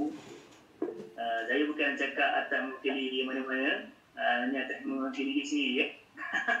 bukan pada jabatan dan sebagainya. Sebagai seorang penuntut ilmu Allah Taala. Uh, teknik 40 teknik Rasulullah SAW ni saya amatnya amat solok lah uh, dan apa ia uh, dapat membantu lah cara teknik kita mengajar walaupun kita dah walaupun dia ada di kalangan kita ni guru uh, tapi mungkin dengan apa yang tadi sampaikan kepada Al-Fadhil Ustaz ni sikit sebanyak membuka minda atau membuka uh, ruang kepada kita untuk kita menela, ataupun menyelami ataupun mendalami lagi ataupun teknik kaedah yang diajar oleh Rasulullah SAW. Hmm. Saya tengok cantik ada ada perkongsi Ustaz ni, saya selitkan juga ilmu tasawuf. Di mana-mana kita tahu ilmu tasawuf penting dalam setiap orang yang menjadi murabi ataupun guru. Kena ada jiwa tasawuf. Kenapa? Kalau kita tidak ada jiwa tasawuf ni, bahaya sebenarnya. Bahayalah sebab kita sebagai murabi ataupun kita sebagai pendidik. Begitu juga kalau kita mengajar budak-budak, anak-anak kan. Eh, sama Cuma uh, apa tu apakah uh, teknik yang berkesan, teknik yang uh, yang saya tanya saya, uh, teknik yang apa yang yang yang boleh uh, beri apa tu teknik yang berkesan lah pada guru ni untuk mengajar sama ada daripada peringkat anak-anak sehingga peringkat dewasa. Terima kasih Tuan Guru. Wallah Uh, saya terus jawab ke saya? Ah, jawab terus. Okey, Barakallahu. Uh, Tuan Ustaz Firdaus. Sebenarnya dia tanya tu dia dah ada jawapan tu. Dia satu nak share ni kan. Uh, kalau soalan Ustaz tu bagi anak dia umum sikit Ustaz. Kalau kalau ikut teknik tu mana kata kita kena sesuaikan dengan dengan kita punya audiens lah. Kan? Uh, kalau kita uh, mengajar kepada sasaran kita tu orang yang agak uh, terpelajar ataupun agak orang kita masuk mengajar ni kadang-kadang tempat orang yang terlampau uh, kayu bona. Uh, jadi itu perlu kita sesuaikan. Uh, jangan nampak nak kita kampung mana lah kan. Jangan nampak kita ni macam tak tahu apa-apa. Jadi kita pun kena tunjuk yang uh, himmah dan nilai kita sebagai pendidik tu dia sangat tinggi dan kita kena tunjukkan bahawa kita pun uh, bukan orang yang boleh dipandang rendah. Orang agama ni bukan orang yang uh, kelas kedua. Sedangkan Nabi SAW mengangkat kelas tuan-tuan di kelas yang pertama. Wa inna ma bu'istu mu'allima. Kan? Jadi maknanya kalau kita berbicara tentang teknik, uh, pendekatan dan cara, uh, dia pasti berbeza dari satu keadaan dan satu keadaan yang lain. Uh, kalau di masjid pun bagian lah, walaupun di masjid, tapi masjid yang uh, dalam bandar, dalam kawasan pinggir bandar pekan dengan kampung yang mungkin pedalaman tu mungkin ada sedikit berbeza orang pedalaman orang kampung tu mungkin mereka ni lebih sensitif dari sudut bahasa. Jadi kita tak bolehlah hantam dia kau mungkin dia lebih lembut cara dia. Uh, tapi kalau orang di pekan, kalau yang lebih terdedah dengan dunia IT ni mungkin dia lebih banyak maklumat. So maknanya kita juga mesti menyelipkan kata isu semasa untuk kita ulas secara yang perlu. Uh, tapi kalau yang tak ada kono-mono dengan dia, contoh kenapa Selangor dibuat dua teks khutbah. Contoh saya kerja saya dengan Syabas tadi kata Ustaz Syed kan, ya. Ha? Kenapa dia uh, Jabatan Agama Selangor perlu menyediakan dalam beberapa uh, waktu setahun tu, dua tiga minggu tu, di prepare dua teks khutbah yang berbeza. Sebab satu tu nak dibaca dekat Tanjung Karang, dekat Pulau Selangor yang ada ladang ataupun yang ada sawah padi. Maka di situ melibatkan zakat pertanian. Zakat pertanian dia tak boleh baca dekat tani bang. Dia tak boleh cakap syalam, tak ada ke. Itu boreh dia tinggal, tak ada padi, tak ada apa lah. Jadi membaca itu mesti disesuaikan. Ha, itu itu maknanya. Itu belum kira lagi faktor umur. Dan insyaAllah Ustaz, uh, pembahasan akan datang dia ada detailkan lagi uh, teknik-teknik. Allah Alam Besar. Barakallahu fiikum. Syukran, syukran Ustaz. Allah Ibadah dibuka kepada sekolah SMK Abu Bakar Tulu untuk makluman Datuk Syada. Uh, ramainya audio kita ni di sekolah menengah kebangsaan Temeluk kita jemput juga untuk usul hari uh, untuk slot kali ni. Akan datang kita akan jemput lagi guru-guru uh, kebangsaan juga. Sekolah menengah kebangsaan juga. Jadi ada apa nak uh, dipersilakan lain-lain untuk uh, perkongsian pertanyaan dipersilakan Ustazah Menab ada beli lima buah buku. Ada yang beli lima buah buku. Tak tahu dia nak share kat siapa. Ustaz dengar suara saya? Dengar, dengar, dengar. Assalamualaikum Ustaz. Ya, ya. Ah, tu. Ustaz, Ustaz ni Guru Tamir Muazzam. Silakan. Terus. Cakap terus. Ah, ni Ustaz. Uh, ya. Assalamualaikum warahmatullahi wabarakatuh. Uh, terima kasih. Terima kasih kepada Tuan Pengusi Media Ustaz Zaid Mazhar. Uh, Tuan Pengusi Ustaz Umar Ismail Pengusi Takmin Negeri dan khususnya kepada Al-Fadil uh, penceramah khas kita pada hari ini iaitu Dr. Syuhada. Sebenarnya pada guru-guru Mualim Takmir Negeri Pahang semuanya. Alhamdulillah saya pertama kita bersyukur pada Allah kerana kita dapat ditemukan pada pagi yang mulia ini. Saya ada dua soalan uh, Ustaz. Pertamanya uh, Ustaz baca dalam uh, surah berkaitan dengan apa nama ni? Uh, Quran uh, banyak berbicara soal pendidikan. Dalam surah Jumaat tu surah ayat berapa Ustaz? Itu satu soalan. Surah Jumaat uh, uh, doktor ada menerangkan tentang uh, tiga ciri tadi iaitu ciri-ciri untuk menjadi seorang uh, uh, guru takmir ataupun seorang pendakwah guru yang terbaik di antaranya tilawah dan sekiatu nafsi dan juga talim Ya. apa uh, apa uh, kaitan dengan ayat Quran yang Allah Taala menyatakan hukum sabil rabbika bil hikmah wal mau'izatil hasanah wajadilhum billati ya ahsan. Jadi itu apa kaitannya dengan apa nama dengan tiga ciri itu. Saya minta uh, Tuan Penjaman dapat me- memberi pencerahan yang detail sekarang. Terima kasih. Uh, Tuan Pusi. Masya Allah, tabarakallah. Wah, eksternal macam tu soalan dia. Susah silang dengan eksternal ni. Okay, terima kasih Tuan uh, Ustaz Hazim ya. Uh, kalau yang betul itu Hazim nak saya baca uh, atas uh, tak sabaru. Sabaru. Itu nama anak, anak saya. Okey, Itu nama anak saya. baik Tuan. Abu Hazim lah, Abu Hazim. Ya, Terima kasih. Okey, uh, kalau kita sebut tadi dalam uh, Quran memang ada berbicara secara jelas uh, tentang peranan ataupun ciri-ciri guru lah. Uh, kalau sempat saya semak di sini dalam uh, surah Jumaah tu betul rasa ayat kedua lah. Ayat kedua. Ayat Jumaah ayat kedua. Kemudian uh, kita boleh uh, perhatikan nanti dalam surah Ali Imran, saya sempat buka ni ha. Dalam surah Ali Imran juga ada dibicarakan laqad manna Allahu 'alal mu'minina id ba'atha fihim rasulan min anfusihim. Yang pertama yatlu 'alaihim ayati, yang kedua yuzakkihim, yang ketiga wa yu'allimuhumul kitaba wal hikmah. Okey, Ustaz boleh catat ayat 164 surah Ali Imran. 164 Ali Imran juga memaparkan tema yang sama tentang tugas asas Nabi iaitu tilawah, tazkiyah, talim. Itu Ali Imran 164 ya. Dalam kitab kita surah Al-Jumu'ah yang kedua. Kemudian nanti kita berujuk pula dalam awal suratul Baqarah dalam akhir juzuk yang pertama iaitu disebutkan doa Nabi Allah Ibrahim Rabbana wa ba'ath fihim rasulan minhum sama juga peranan Nabi yang didoakan oleh Nabi Allah Ibrahim alaihissalam Khalilur Rahman dia kata apa? Yatlu alaihim ayatik. Yang pertama tilawah. Yang kedua wa yu'allimuhumul kitab wal hikmah ta'lim. Yang ketiga wa yuzakkihim.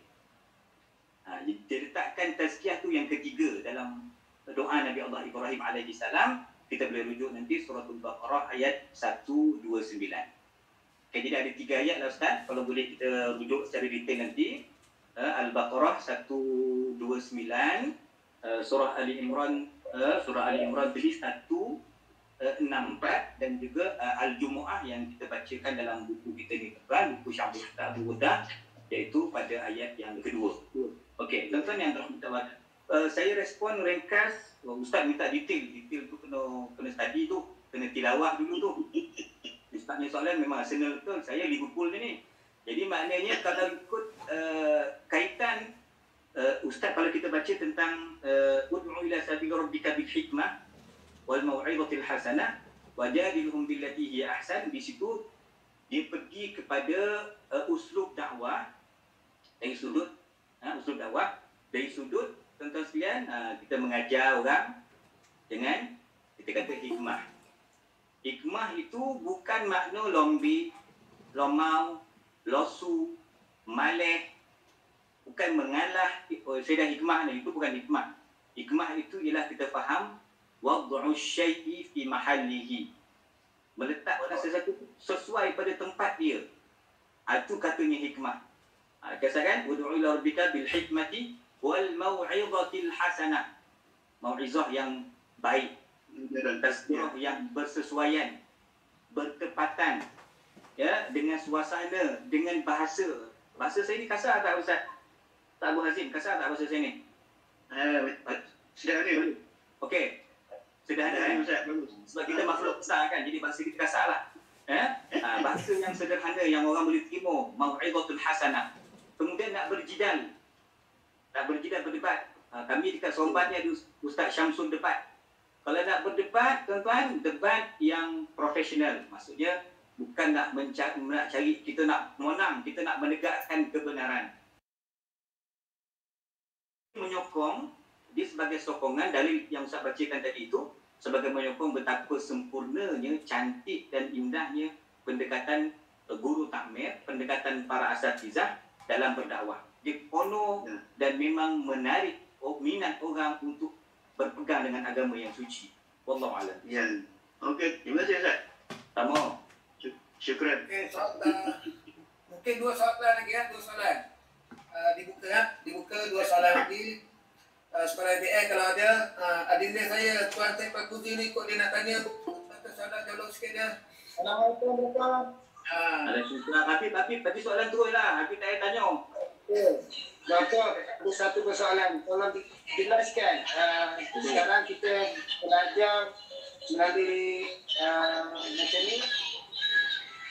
Keberkatan guru tu jelaskan tentang keberkatan guru kepada anak murid. Uh, itu yang paling penting lah untuk kita nak tahu. Boleh ya doktor jelaskan? Ini baik. Barakallahu Dan kan apa sahabat saya Ustaz Syed Fakhruddin yang pada saya datang faham tu dia rajin belanja saya Alhamdulillah.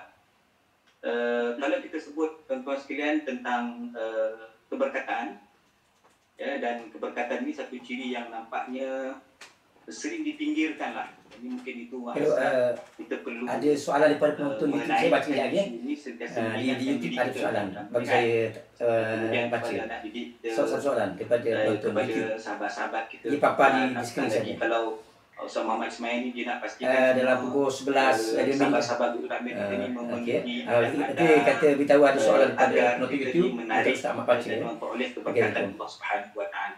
Maka dari sudut uh, pengajian macam inilah kita kena hadapilah norma baru ni kan. Uh, kita nak mengelak, kita tak pandai ke kita apa ke memang kita terpaksa terima inilah uh, pendekatan dakwah uh, zaman moden ini terpaksa kita buat begini tuan pendekatan dia. Tetapi bukan uh, dengan mengorbankan ataupun me- menidakkan uh, keberkatan Allah Subhanahu Wa Taala. Maksudnya ialah ini komen-komen guru-guru kita lah eh, para masyarakat kita antara Syekh Nuruddin pernah disebut uh, antaranya iaitu kalau kita uh, belajar dari sudut uh, apa ni tadi uh, pengajian uh, online ataupun apa-apa bentuk pengajian yang tidaklah kita uh, faas nada rukbataihi bila rukbatai kita bukan dapat cantumkan lutut kita dengan lutut guru kita tak dapat. Ya saya lutut saya kat Seremban lutut tuan-tuan dekat mana tadi tu? Ha dekat uh, dekat apa Temerloh eh, lutut tuan-tuan dekat sebelah mana? Ha jengka ha, jadi uh, dari sudut itu kita tak dapat. Kita tak dapat buat macam uh, tarbiyah yang uh, yang lazim berlaku di kalangan para sahabat uh, ketika mereka diasuh dididik oleh Nabi SAW Sayyidina Wabisah bin Ma'bad seorang sahabat yang nama dia tak apa terkenal lah. Kurang viral nama dia. Wabisah bin Ma'bad dia bawa suku kaum dia 10 orang untuk bertemu Nabi SAW untuk diislamkan di hadapan Nabi. Sayyidina Wabisah ni tuan-tuan datang lambat uh, uh, di hadapan pintu masjid sahabat-sahabat kata kau lambat kau jangan masuk wa man ta'akhkhara fala nasibalah siapa lambat tak ada can nak duduk depan siapa lambat tak tag masuk ni Google Meet apa benda ni sebab tu saya telefon masuk cepetkan penceramah tak boleh masuk kan siapa nak ceramah Tuan-tuan kan? Jadi siapa lambat tak boleh masuk. Jadi Sayyidina Wabisah bin Ma'bad radhiyallahu an di, dihalang oleh sahabat, kau lambat kau dah dengar ceramah kau kat luar pintu. Tapi Nabi nampak dia, Nabi panggil. Ha, kan? Ha, Nabi kata bagi Wabi- bin Ma'bad tu masuk. Saya nak cerita apa Ustaz Saifah Raji? Saya nak cerita kat situ Nabi ambil tiga jari Nabi lekatkan pada dada Sayyidina Wabisah radhiyallahu an Nabi kata, "Jika tas'alu 'anil bir" kau tanya Dan tentang apa itu konsep kebajikan, pahala, syurga. Itulah dalam dalam otak Sayyidina Wabisah tu nak tanya soalan tu lah. Tapi Nabi yang ada ilham, yang ada wahyu. Nabi tahu tujuan kedatangan Wabisah bin Ma'bad radhiyallahu anhu. Kau datang nak tanya Dan pasal albir ya. Rasulullah. Ha, maka kan kita baca tu kan hadis ni dalam matan arba'in albirru matma'annat ilaihi alqalb wa matma'annat ilaihi ilaihi alqulub al-qulub hati tenang, hati senang itu itu albir, itu kebajikan. Nabi cantum tiga jari Nabi, Nabi tepuk pada dada ini lutut yang berlaku zaman Nabi SAW. Tepuk, tuan-tuan, sekolah buka bulan 10 esok boleh buat lah. Sekarang tak boleh buat lagi kan. Ha, ditepuknya tiga dada Nabi SAW pada dada Sayyidina jari Nabi diletak pada dada Sayyidina Wabisah. Nabi kata, istafti qalbak wa in aktakal muftu. Kau boleh fatwa pada diri kau, kau tak payah tanya mufti. Walaupun Datuk Syekh, uh, Datuk Seri Syekh uh, Abdul Rahman uh, telah mengeluarkan fatwa benarkan untuk tidak mengikut fatwa uh, sahibus saham mufti. Apakah itu maksudnya? Apakah rakyat faham boleh bersalah menyanggah fatwa mufti? Apakah saya uh, dengan senang senang lenang tidak mahu akur dengan warta fatwa yang telah dikeluarkan oleh mufti uh, saham Datuk Yusof? Itu bukan maksudnya. Maksudnya ialah ya, maksudnya ialah istighfar dan inilah Ada wifi baru. Oh, untuk Sebab dia belajar. Ah, ada jauh. Tuan-tuan, maka Nabi kata apa? Istafti qalbak wa in aftakal muftun. Tanya hati kecil kamu. Tuan-tuan, maksud di situ, ah, ini kena baca komen ulasan tilawah orang yang membaca, yang ada mata hati, basirah. Syekh Ibrahim Ah. Tentang Syekh Ibrahim Ulama Azhar menulis kitab Al-Futuhat Al-Wahbiyah di Syarhil Arba'in An-Nawawiyah. Tuan ketika itu Syekh Ibrahim Mar'ah contoh salah seorang ulama Azhar dia kata apa? Hadis wabisah ni maknanya Nabi perakukan wabisah hatinya bersih, hatinya baik. Maka dia dah boleh fatwa sendiri. Seorang mujtahid tuan-tuan dia tak perlu terikat dengan mujtahid yang lain. Kalau dia mujtahid, Imam Syafi'i tak perlu terikat lagi dengan Imam Malik setelah dia membina mazhab dia. Tuan-tuan, itu dari sudut fiqah. Dari sudut fatwa. Dan semua itu berbanding kepada kesucian hati. Tak ada. Ya, pakai data. Salam. Kita tolong Datuk Mat, Datuk Mat, ya. Ustazah Rafidah. Dia belajar. Saya tak dapat mute dia. Ha. Dia.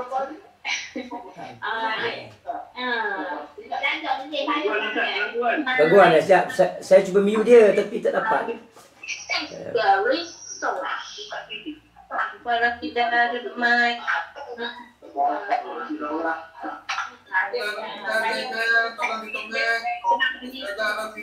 Tolong tolong. Okey, saya minta maaf lah sebab tak dapat mute dan terpaksa keluar kejap. Okey. Mohon maaf lah. Okey, izinkan uh, saya tambah sikit sama Mak ya. Ya, silakan. Okey, saya nak Wabi Suah tadi Nabi perakukan hatinya bersih. Tapi kita tak ada boleh mengaku hati kita bersih. Allah sebut fala tuzakku anfusakum. Tak ada siapa boleh claim dia hatinya bersih dengan dialah orang yang yang paling berkelayakan men- menerima barakat, uh, nafahat, fuyudat. Kita tak ada siapa yang boleh mengaku begitu. Okey, eh? jadi tuan-tuan sekalian, untuk mendapat kebersihan hati, kesucian hati macam apa yang dilakukan yang Nabi tunjukkan pada Sayyidina Wabisah bin Ma'bad cuba rujuk dalam matan Arba'in nanti dalam syarah-syarah dia tuan-tuan maka sebenarnya keberkatan itu ialah dengan antara disebut tadi ialah menjaga adab antara adab yang paling penting ialah keberkatan restu guru. Kita ni sayang pun sama lah tuan. Kita nak suruh murid sayang kita anak kita hormat kita. Tapi kita tak hormat bapak kita. Kita tak pandai jaga adab dan guru kita. Kita nak murid cium tangan kaki kita. Kan? Kita nak kita ni diangkat disanjung di tapi sebenarnya dari sudut yang penting yang paling penting ialah tuan tugasan kita jihad kita menyampaikan dengan cara yang SOP yang betul SOP Quran dan hadis tadi tu. Ya dengan uh, tilawah ta'lim tazkiyah kita dah buat yang itu kemudian disokong tadi dengan dalil uh, kita kata dengan hikmah dengan mau'izah hasanah dan seumpamanya tuan tetapi sudut pandang keberkatan tu Said kalau boleh anda ringkaskan iaitu perlukan kepada keberkatan guru. Jadi itu akan berbalik semua iaitu menjaga adab-adab yang sewajibnya, yang sewajarnya kita pelihara dalam majlis ini. Walaupun dalam online. Okay, terima kasih Ustaz. Wallahu a'lam bishawab. Okey, terima kasih. Sangat jelas dan uh, terang pencerahannya. Terima kasih. Okey, ada lagi tak soalan sebab ke ni kita nak bagi pada pengurusi dia nak baca soalan YouTube. Ada soalan Assalamualaikum. Assalamualaikum warahmatullahi wabarakatuh. Uh, saya Ustazah Farida daripada Pekan Pahang. Uh, saya ada satu soalan dan saya terus pada soalannya. Eh. Uh, apa pandangan uh, Ustaz Doktor berkaitan dengan uh, keadaan sekarang di mana apabila sesuatu uh, pengajaran ataupun kelas-kelas ya uh, guru-guru uh, lebih suka memberikan ijazah terus kepada pelajar-pelajarnya untuk beramal. Sama ada zikir ke ataupun apa sajalah. Maknanya dia terus ijazahkan kepada pelajar-pelajarnya supaya mereka itu terus beramal. Wallahu warahmatullahi wabarakatuh. Waalaikumsalam.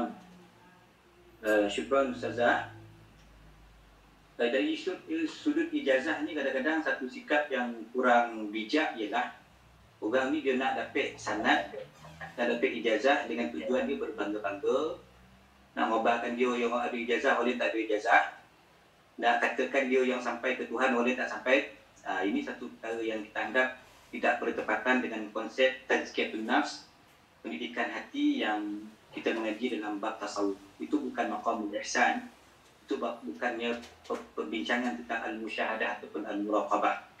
Okey apapun ijazah ustazah kalau sebahagian tu kalau kita katalah dia guru takmir ataupun guru di sekolah dan dia dapat sanad daripada pada mana-mana habib daripada pada syekh uh, kiai tunggu eh dia dapat ijazah. Saya katalah uh, saya ada uh, ijazah tentang hizib bahar hizib Imam Nawawi contohnya. Hizib Imam tadi Abu Abu Abdul Hasan Asyadili dan pastilah saya sebagai orang yang mewakili tarikat Ja'fariyah saya ada semua ijazah Sidi Soleh Ja'fari. Tetapi tidak pula saya bermudah-mudah untuk mengijazahkan kepada semua orang tak boleh. Ya ha, jadi ijazah ni kalau boleh Ustazah kita tengok kemampuan dan keperluan. Itu maksud saya. Kalau benda yang simple maksudnya simple tu uh, ijazah kita kata nak ijazahkan suratul ikhlas. Orang tu tidak ada sanad Quran lah contohnya ataupun tak ada sanad ke. Tapi kita nak ijazahkan uh, amalan sebelum tidur Ustazah. Kan? Tiga kul tu macam mana nak buat? Macam mana nak tiup? Apa yang nak disapu? Kan? Simple je amalan tu. Tetapi kita ni pula Ustazah Faridah kalau boleh dibaca Hafsah ni Ustazah Faridah eh. Uh, uh, dapat rezeki ikut satu pengajian uh, penceramah tu bagi satu amalan. Habib Ali bagi satu amalan dan kita melihat pula kita dah Alhamdulillah dah cuba beramal lah dengan ijazah tu. Bukan simpan dalam perut tu. Amal bukan buat kenang-kenangan. Bukan simpan sijil-sijil tu simpan dalam fail bungkus dalam mari tak. Beramal.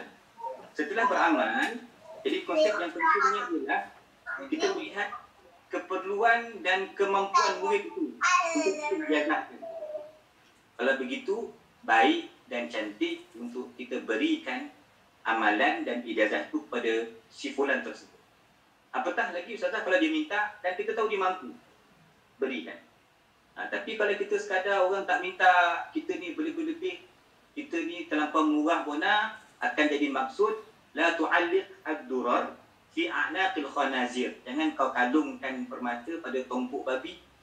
Kadang-kadang mereka tak layak. Itu bi, uh, kiasan kepada mereka yang tak mampu. Bukan ahli tahammul untuk menanggung ijazah Eh? Ha, jadi maknanya tadi mungkin apa yang saya nak sampaikan ialah melihat pada kesesuaian dan kepada keperluan dan kemampuan murid itu kalau sesuai baiklah kita bagi. Kalau perlu baiklah kita bagi. Kalau tak perlu dan tak sesuai kita jangan jangan bagi lagi. Tersebut. Wallahu a'lam bishawab. Hadirin hadirat tuan-tuan dan puan-puan yang dimuliakan oleh Allah SWT Allah, tuan-tuan guru, asatidah semua, kita nak tutup ni sebelum kita tutup soalan ya. Kita tutup. Memang uh, Alhamdulillah Kak Menteri kata sangat gembira, sangat jelas. Ah, kita ada juga uh, uh, ni, uh, ni tuan guru kita masuk balik. Soalan daripada penonton sejak uh, Saif Fazal. Ya. Ada soalan. Ada soalan. Okey, soalan uh, okay, uh, doktor ada soalan daripada penonton di YouTube. Uh, dia bertanya, satu soalan je ada sana. Bagaimana cara terbaik untuk kita sendiri nak jaga hati sekiranya kita ada terasa dengan setengah ibu bapa yang sering menyalahkan guru dan menyakitkan hati guru. Uh, mungkin dia nak uh, hati dia lebih tenang untuk mengajar uh, dan bagaimana nak merawat hatinya. Itu soalan-soalan daripada saya. Yang kedua, last. Uh, unsur kecintaan dalam mengajar ni, uh, uh, kelakar ataupun buat lawak dalam mengajar, uh, di kalangan uh, pendakwa-pendakwa terkini, kalau kita lihat dari sudut uh, cara Rasulullah bagaimana, kalau tengok dia juga bergurau dengan orang tua kan, tapi dari sudut uh, kalau kita tengok sifat Rasulullah mengajar tegas, kemudian uh, bersungguh-sungguh.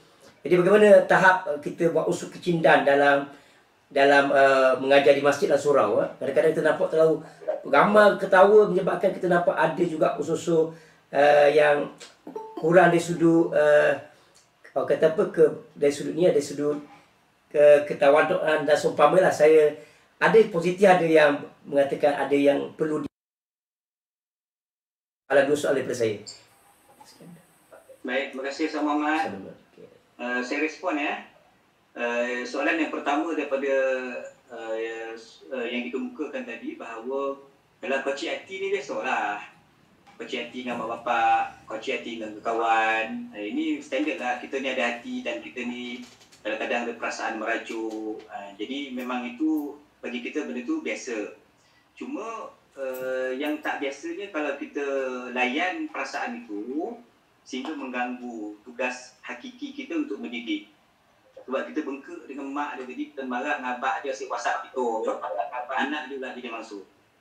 Kan? Ha, jadi maknanya uh, untuk tis menjaga hati diri itu tak tak ada lain pilihan melainkan perlu kuatkan kerohanian kita dari sudut al-awrad.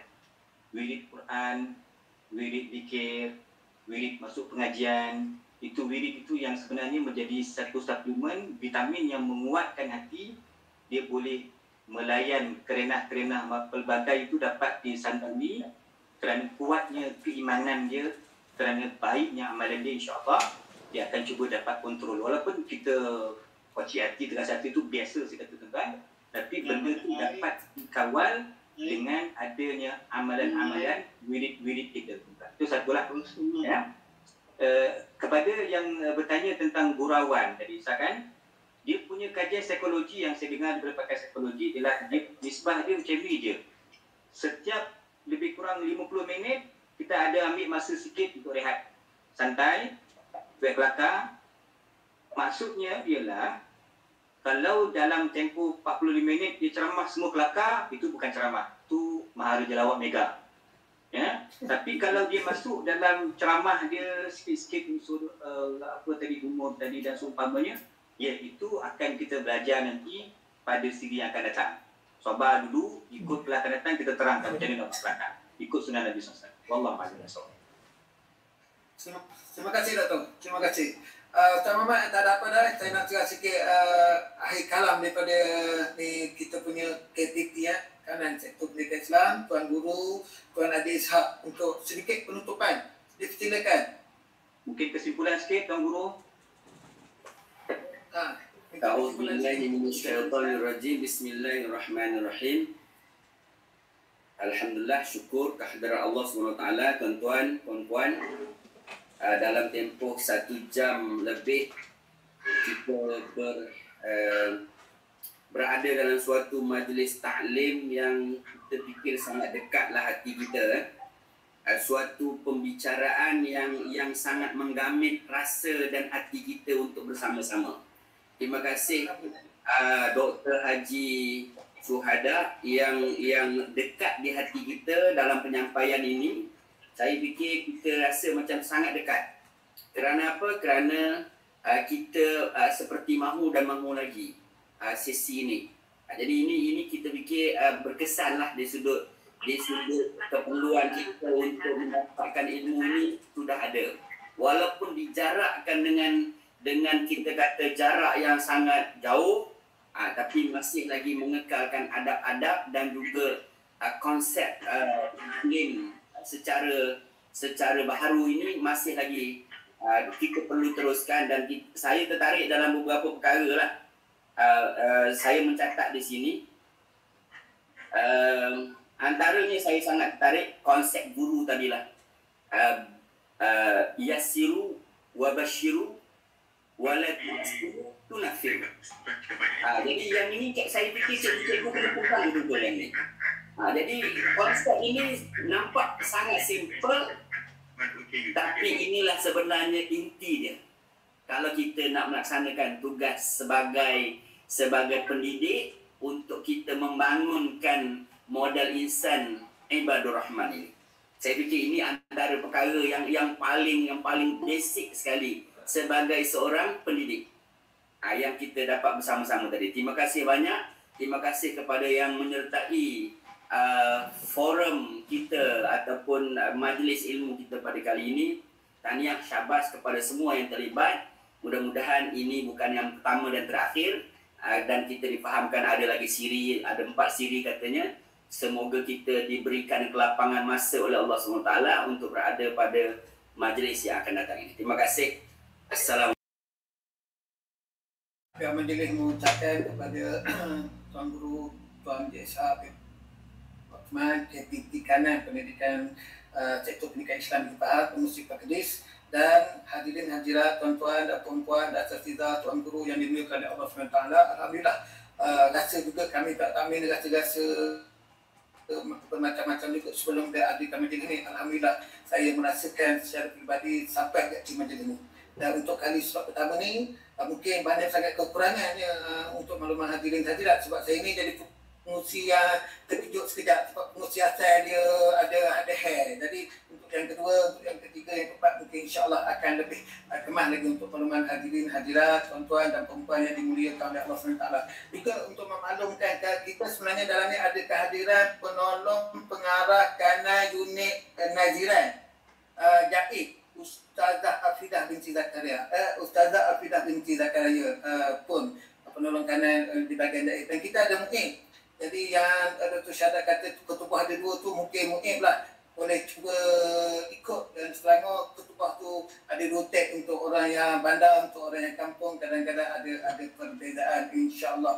Untuk malaman hadirin hadirat tuan-tuan yang dimuliakan oleh Allah Subhanahu Wa Taala. Uh, buku mungkin uh, saya akan usahakan buku dengan sebaik mungkin tapi saya akan minta dengan tuan doktor juga dan buku ada lagi buku nilai masa yang juga diterjemahkan oleh doktor dan juga uh, dia punya uh, dia punya uh, uh, dikarang oleh Adu Fatul Lutah juga sama. Jadi siapa nak pun boleh juga. Untuk yang akhirnya uh, sekali lagi uh, majlis mengucapkan terima kasih betul pada sokongan daripada KTP Sektor Pendidikan Islam Tuan Yusof ni dalam macam sekejap. Tu bergerak se- sebaik mungkin lah. Betul pada Jabatan Agama Islam MUID dan juga saya sangat-sangat tidak lupakan juga pada guru-guru takmir uh, di uh, pesat AJK guru takmir dan juga pengusi setiap daerah guru takmir kepada guru asal Al-Quran petang yang juga kita jemput untuk hadir sama. Dan juga tidak dilupakan juga kepada guru-guru pendidikan Islam seluruh negeri Pak Ani, seluruh negeri lah kita jemput sebenarnya. Kita jemput. Dan sekolah menengah SMK Abu Bakar Temduh pun uh, kita ada jemput untuk kali ini nak. Uh, jadi uh, jadi hadirin hadirat tuan-tuan dan puan yang dimuliakan oleh Allah Subhanahu taala saya nak maklum juga tak sadar dekat sini hujan ya. Uh, ada sikit kesejukan lah sikit. Jadi kalau datang ke Pahang tu memang dia datang ke Temduh untuk mencari ikan patin. Saya tak bagi dia makan patin biasa original punya. Jadi kalau orang tak dapat nak makan patin dia biasa patin biasa originalnya ada tu ada perbezaan sikit minta maaf salah dan silap kurang lebih aqulu qauli hadza wa astaghfirullah li wa lakum wassalamualaikum warahmatullahi wabarakatuh Okey, dia minta semua buka gambar. eh. Buka gambar, buka kamera kerana kita nak sesi bergambar sekejap. Ada 100 orang, 103 orang tadi. Sekarang dah tinggal 96. Ah, Jadi uh, harap buka gambar kamera untuk kita bergambar. Saya punya apa pasal guna telefon je. Laptop ada masalah sikit. Siapa yang ada laptop okey boleh Untuk saya lah ya. Ah, saya boleh boleh ambil eh. Okey. Okay, saya Okey, satu, dua, tiga. Okey, satu, dua, tiga. So, sekali lagi, ada yang belum buka lagi. Okey, terima kasih semua yang menyertai. Jangan lupa tekan link uh, pendaftaran. Ada yang guru. Ya, dia kata. Apa? Masih doktor. Okey, okay, semua. insyaallah insyaallah Mohon maaf kalau ada saya termute tadi. Kita, tolong, tolong CD kita sendiri sebab kita sediakan CD. Okey, insyaAllah. Nanti kita akan emailkan eh. Dia akan email. Okay, syukran. Kalau, kalau ada masalah kita akan emailkan semua dia. Okay, syukran Dr. Syuhada. Temu lagi insyaAllah. Okey, jumpa lagi. Mohon mohon uh, live daripada grup. Terima kasih. Okay. Assalamualaikum. Terima kasih Tuan Guru. Okay. Waalaikumsalam. Terima kasih.